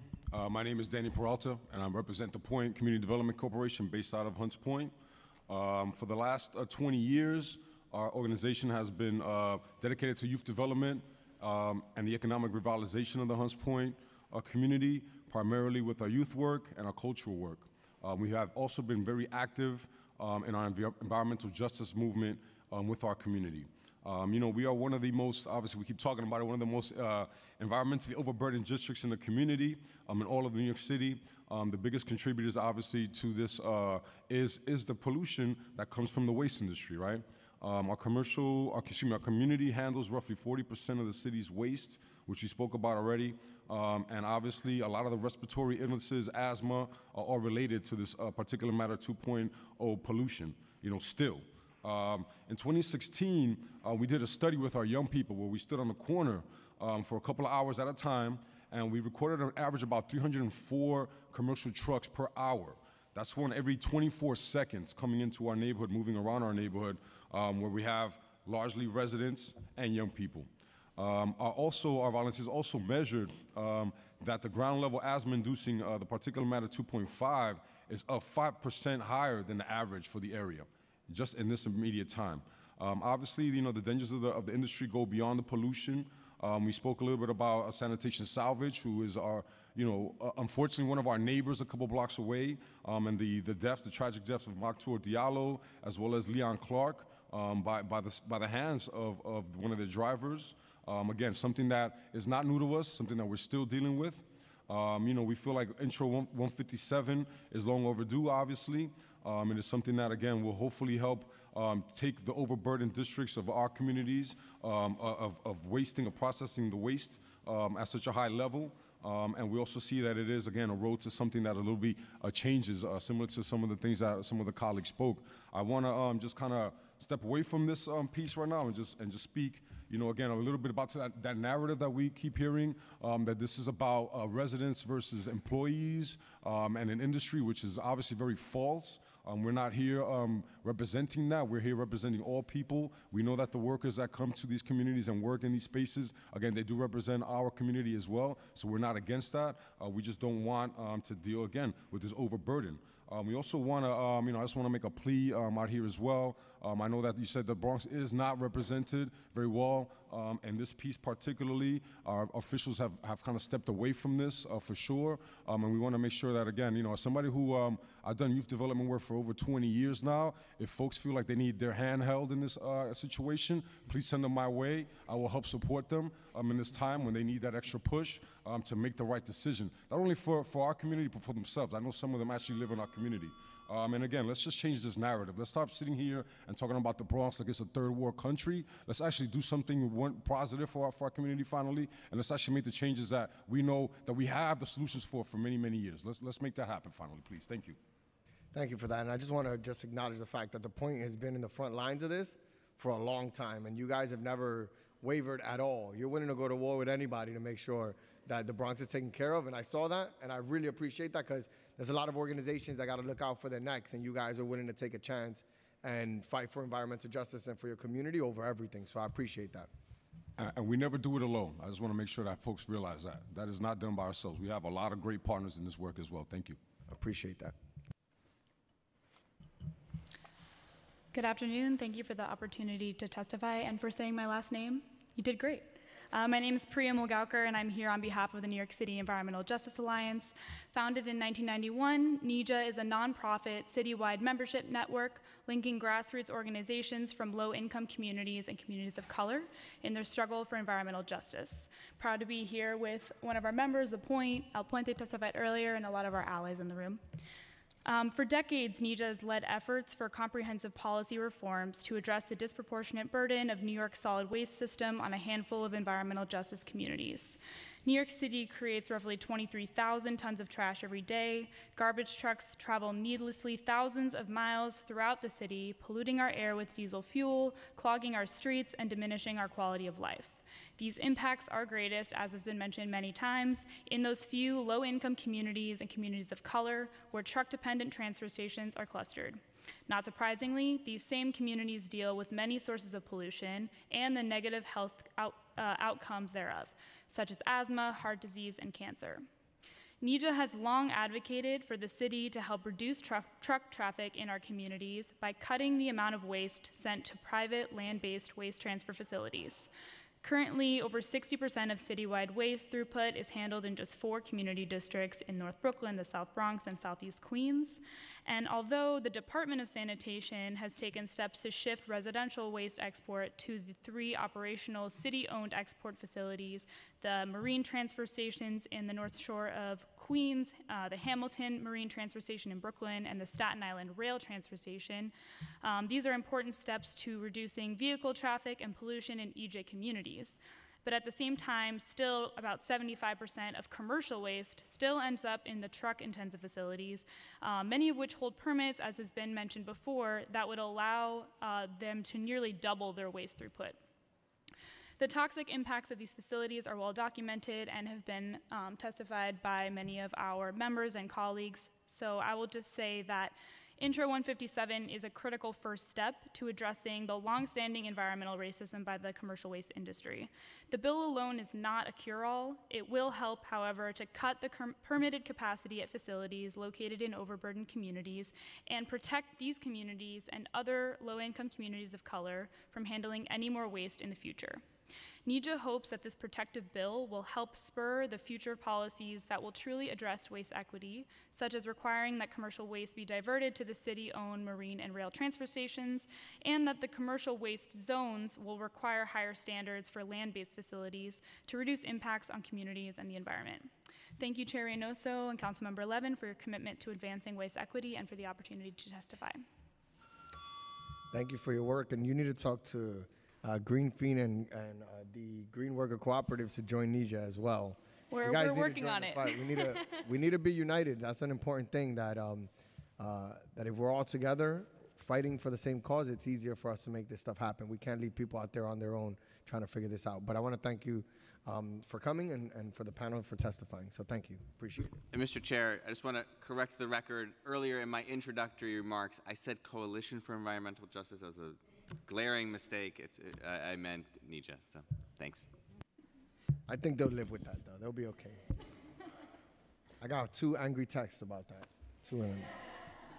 Um, Allison Cordero um, stepped out, but she did submit uh, testimony. Yeah, she, she submitted testimony. Eric Goldstein from NRDC. Michael Heimbendy. There you go. Thank you for that. You guys all have to help me. I want people to start signing the names phonetically. Jana Corliss or Jeanette Corliss and Eric Rosades. Where's Eric? There he is.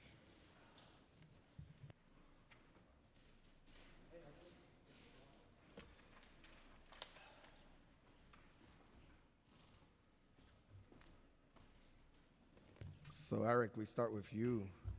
Okay. Uh oh, no, wait. Okay, yes, do we do start? Either way. Whoever's, whoever's furthest right from Uh, uh, my uh, right side is going to okay. start. There you go.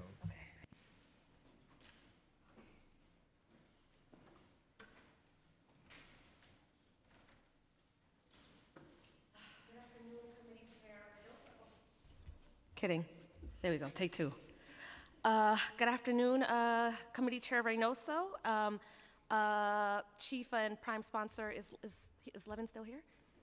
Hello, hello, and members of the committee. Uh, huge thanks for allowing me the time and opportunity to testify before you today. Uh, my name is Janelle Corliss, and I am the Legislative Campaigns Manager for New York Working Families. Um, my apologies in appropriating the laborer's orange today. Obviously, that was not intentional. And I'm actually going to provide um, testimony on behalf of my principal, Stefan Edel, who's the project director over at New York Working Families today. Um, so, um, working families, we stand in complete solidarity with the environmental justice, labor, community, and public health advocates in support of Intro 157 today, a bill that will provide meaningful relief to communities that have shouldered the burden of handling far more than their fair share of the city's waste for way too long. Working Families is deeply committed to fighting for a city that works for all New Yorkers across race, class, ethnicity, and geographic location. To that end, an essential part of this is a solid waste management system that treats all New Yorkers fairly, that protects our communities from unnecessary or uh, excessive environmental harms, while also uh, rewarding industry actors that treat their workers and their neighbors well. In that regard, we have much work to do to make that goal a reality. It is disturbing that we have created a system in which just three communities, overwhelmingly working class and of color, are still home to upwards of three-fourths of the city's private wa- waste transfer station capacity and handle over 15,000 tons of garbage every day. Residents of these, these communities are subject to bad neighbor facilities and an endless stream of diesel trucks that pollute their air, clog their streets, and diminish their quality of life. This is a gross inequity that demands a remedy. Another aligned effort that complements this one is the city's exploration of how to implement an exclusive zoned franchise for commercial waste collections. Exclusive and rational zones and contracts with a single hauler in each zone, selected through a transparent bidding process, will reduce the number of truck trips, improve contracting and regulation, improve safety for workers in our communities, and open the doors for innovation. Zoning creates incentives for investments that are needed to achieve high diversion rates and therefore less burden on communities that host waste transfer processing. Intro 157 provides concrete relief to these communities by making modest reductions to the permitted capacity of transfer stations in the most impacted neighborhoods. This will take trucks off the roads in these communities without the city's ability to meet its solid waste management needs. By timing the reductions to occur after the city's cleaner, safer, and more modern marine and rail-based transfer stations become operational, Intro 157A ensures that there is ample capacity to achieve reductions. So in conclusion, just want to say that waste equity is a critical first step to transforming the entire commercial waste system from a polluting, inefficient system that exploit workers in low-income communities to a fairer, more sustainable system. For these reasons, working families firmly supports Intro 157 and strongly urges the council to pass it. Thank you. Thank you, Janelle. Appreciate it. Good afternoon, uh, Chairman Reynoso, Councilmember Levin. Uh, my name is Eric Bruzaitis. I am a member of the Outrage Steering Committee. I'm also the chair of the Community Board One, Brooklyn Community Board One Transportation Committee. Uh, I want to thank you very much for holding this hearing and allowing me to testify today. I would also like to thank the co-sponsors, the 19 co-sponsors of this bill, uh, as well as um, uh, the other members of the committee, and I, I hope that we can uh, get uh, Councilmember Cabrera to come, come along and bring his, his group with him as well. Um, I'm very happy to see uh, this bill reintroduced and give you my unmitigated support for it. Um, we had hoped to have this passed in the past, but we're happy to see it moving forward. With 19 co-sponsors, I hope that means that uh, with uh, a third of the council for it, um, that we can carry it over the over the goalpost. Um, couple comments uh, about uh, truck traffic. Um, truck traffic in North Brooklyn, um, as the chair is aware, we see about 5,000 truck trips a day. 50% of those are waste haulers. Many of those trucks are off route. Um, we are expected to see an additional 200 plus um, with the expansion of the organics program that will be going to the waste uh, to the water treatment plant. Um, we also have an enormous number, a larger number of construction and demolition uh, trucks that are hauling now because of the incredible growth uh, in North Brooklyn, uh, not just on the waterfront, but across Community District 1. Um, because of that, we're seeing higher asthma rates, um, second highest in the city. Um, and uh, just to say that uh, without this legislation, um, there will only be more truck traffic in North Brooklyn and not less. Uh, it's important that we have the, this fair share distributed across the city now, um, or at least in October of uh, 2019. Um, but uh, it needs to go forward now um, to reduce the burden on a community that has been dealing with this uh, environmental injustice, not since the closure of Fresh Kills landfill, but actually much before. Um, those of you who don't know the history of North Brooklyn, it was the economic engine of the United States from the founding to um, uh, up until about World War II. And because of that, there's a lot of environmental uh, degradation. Somebody mentioned the oil spill before. Um, and communities of color, poor immigrants have been living cheek and jowl with these problems for decades. Um, we need to switch that script, and uh, hopefully, this uh, legislation will do a lot to carry that forward. Um, I am concerned about, I'm happy to see Commissioner Garcia in favor of this. I am dubious about her enforcement goals. Um, I don't know who's going out to these waste, waste transfer stations once a week, um, but they're not doing anything about it. And we need more men in black for the budget uh, that go out. So, four is not enough. Thank you very much. Thank you. Thank you for your testimony. And yeah, long before the transfer stations were there, we were dealing with uh, incinerators in these communities. Um, so you're right that the trash issue has existed long before Fresh Kills got shut down. But thank you for your testimony, Eric, and thank you from Community Board One and the work you do in the Transportation Committee. You're a breath of fresh air out there. Uh, Good morning, or I should say good afternoon. My name is Michael Heimbinder. I serve as board chair at the Newtown Creek Alliance, and I wanted to thank Chair Reynoso and Councilman Levin for inviting testimony today. Uh, the Newtown Creek Alliance is a community-based organization that works to restore, reveal, and revitalize Newtown Creek. For those who aren't familiar, it's the dividing line between North Brooklyn and Western Queens. We're unique in New York City because we advocate for environmental remediation, industrial retention, and community health. Where many might see opposing points of view, we have been able to find common ground. We appreciate the opportunity to bring this point of view to the discussion today. My testimony today will outline, our strong support for Intro 157. The neighborhoods surrounding Newtown Creek host a disproportionate number of truck-based waste transfer stations relative to the rest of the city. Collectively, collectively, these transfer stations handle almost 40% of the over 12 million tons of waste moving through New York City annually. This is the densest concentration of waste transfer stations in the five boroughs, and this clustering negatively impacts community health and public infrastructure. Since the first modern oil, oil, refinery was founded on the creek in 1867, the waterway has served as a conduit to a host of industrial businesses. Almost 9 million tons of supplies and product were floated on the creek at the peak of shipping in 1950. Since then, heavy industry has waned, giving way mix to a mix of wholesale handling and distribution uses. The concentration of truck-based transfer stations, however, is a relatively new occurrence. They represent the more recent era of improvisation that came after in-city disposal options, like landfilling and incineration, were shuttered without a backup plan for export. During this time, the 90s and early aughts, transfer stations popped up in industrial zones like the South Bronx and Newtown Creek, and we've been stuck with this clustering ever since. Even though a more centralized array of waste shed infrastructure makes sense, today's legislation represents a small step back toward a more efficient and equitable strategy for handling solid waste. Today, I'm here to support a piece of legislation that will eliminate unused permit capacity in the city's three most overburdened communities and subsequently ensure that new capacity throughout the city will be handled at marine transfer stations within each borough. Moving essential bulk materials by barge is a best practice that is more efficient economically and environmentally. A single barge has the same capacity as 28 to 56 long haul tractor trailer trucks, depending on the material. Compared to other transportation modes, barge transport of bulk materials is safer in terms of worker injuries and generates far fewer emissions of particulate matter, hydrocarbons, carbon dioxide, CO2, nitrous oxide on a per ton mile moved basis. While today's legislation is a step in the right direction, Newtown Creek Alliance hopes our leaders will take additional steps that will send correct market signals toward the reduction of waste export job creation and more specialized types of product recovery, and increased reliance on maritime transit. Thanks again for your le- leadership and opportunity to speak today. Thank you. Thank you for your testimony.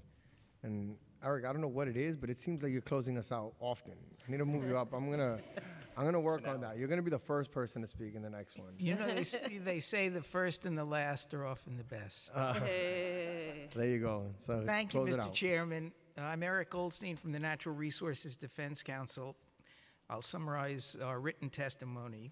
The city's handle, uh, system for handling commercial waste is completely broken. Intro 157B is a long overdue step in the right direction. It's a modest step forward. It includes many features designed to ensure that sufficient capacity is preserved for both existing waste loads as well as unanticipated increase. The bill's restrictions apply to permitted capacity at these transfer stations, which is far higher than the actual daily tonnage that these facilities receive on an ongoing basis.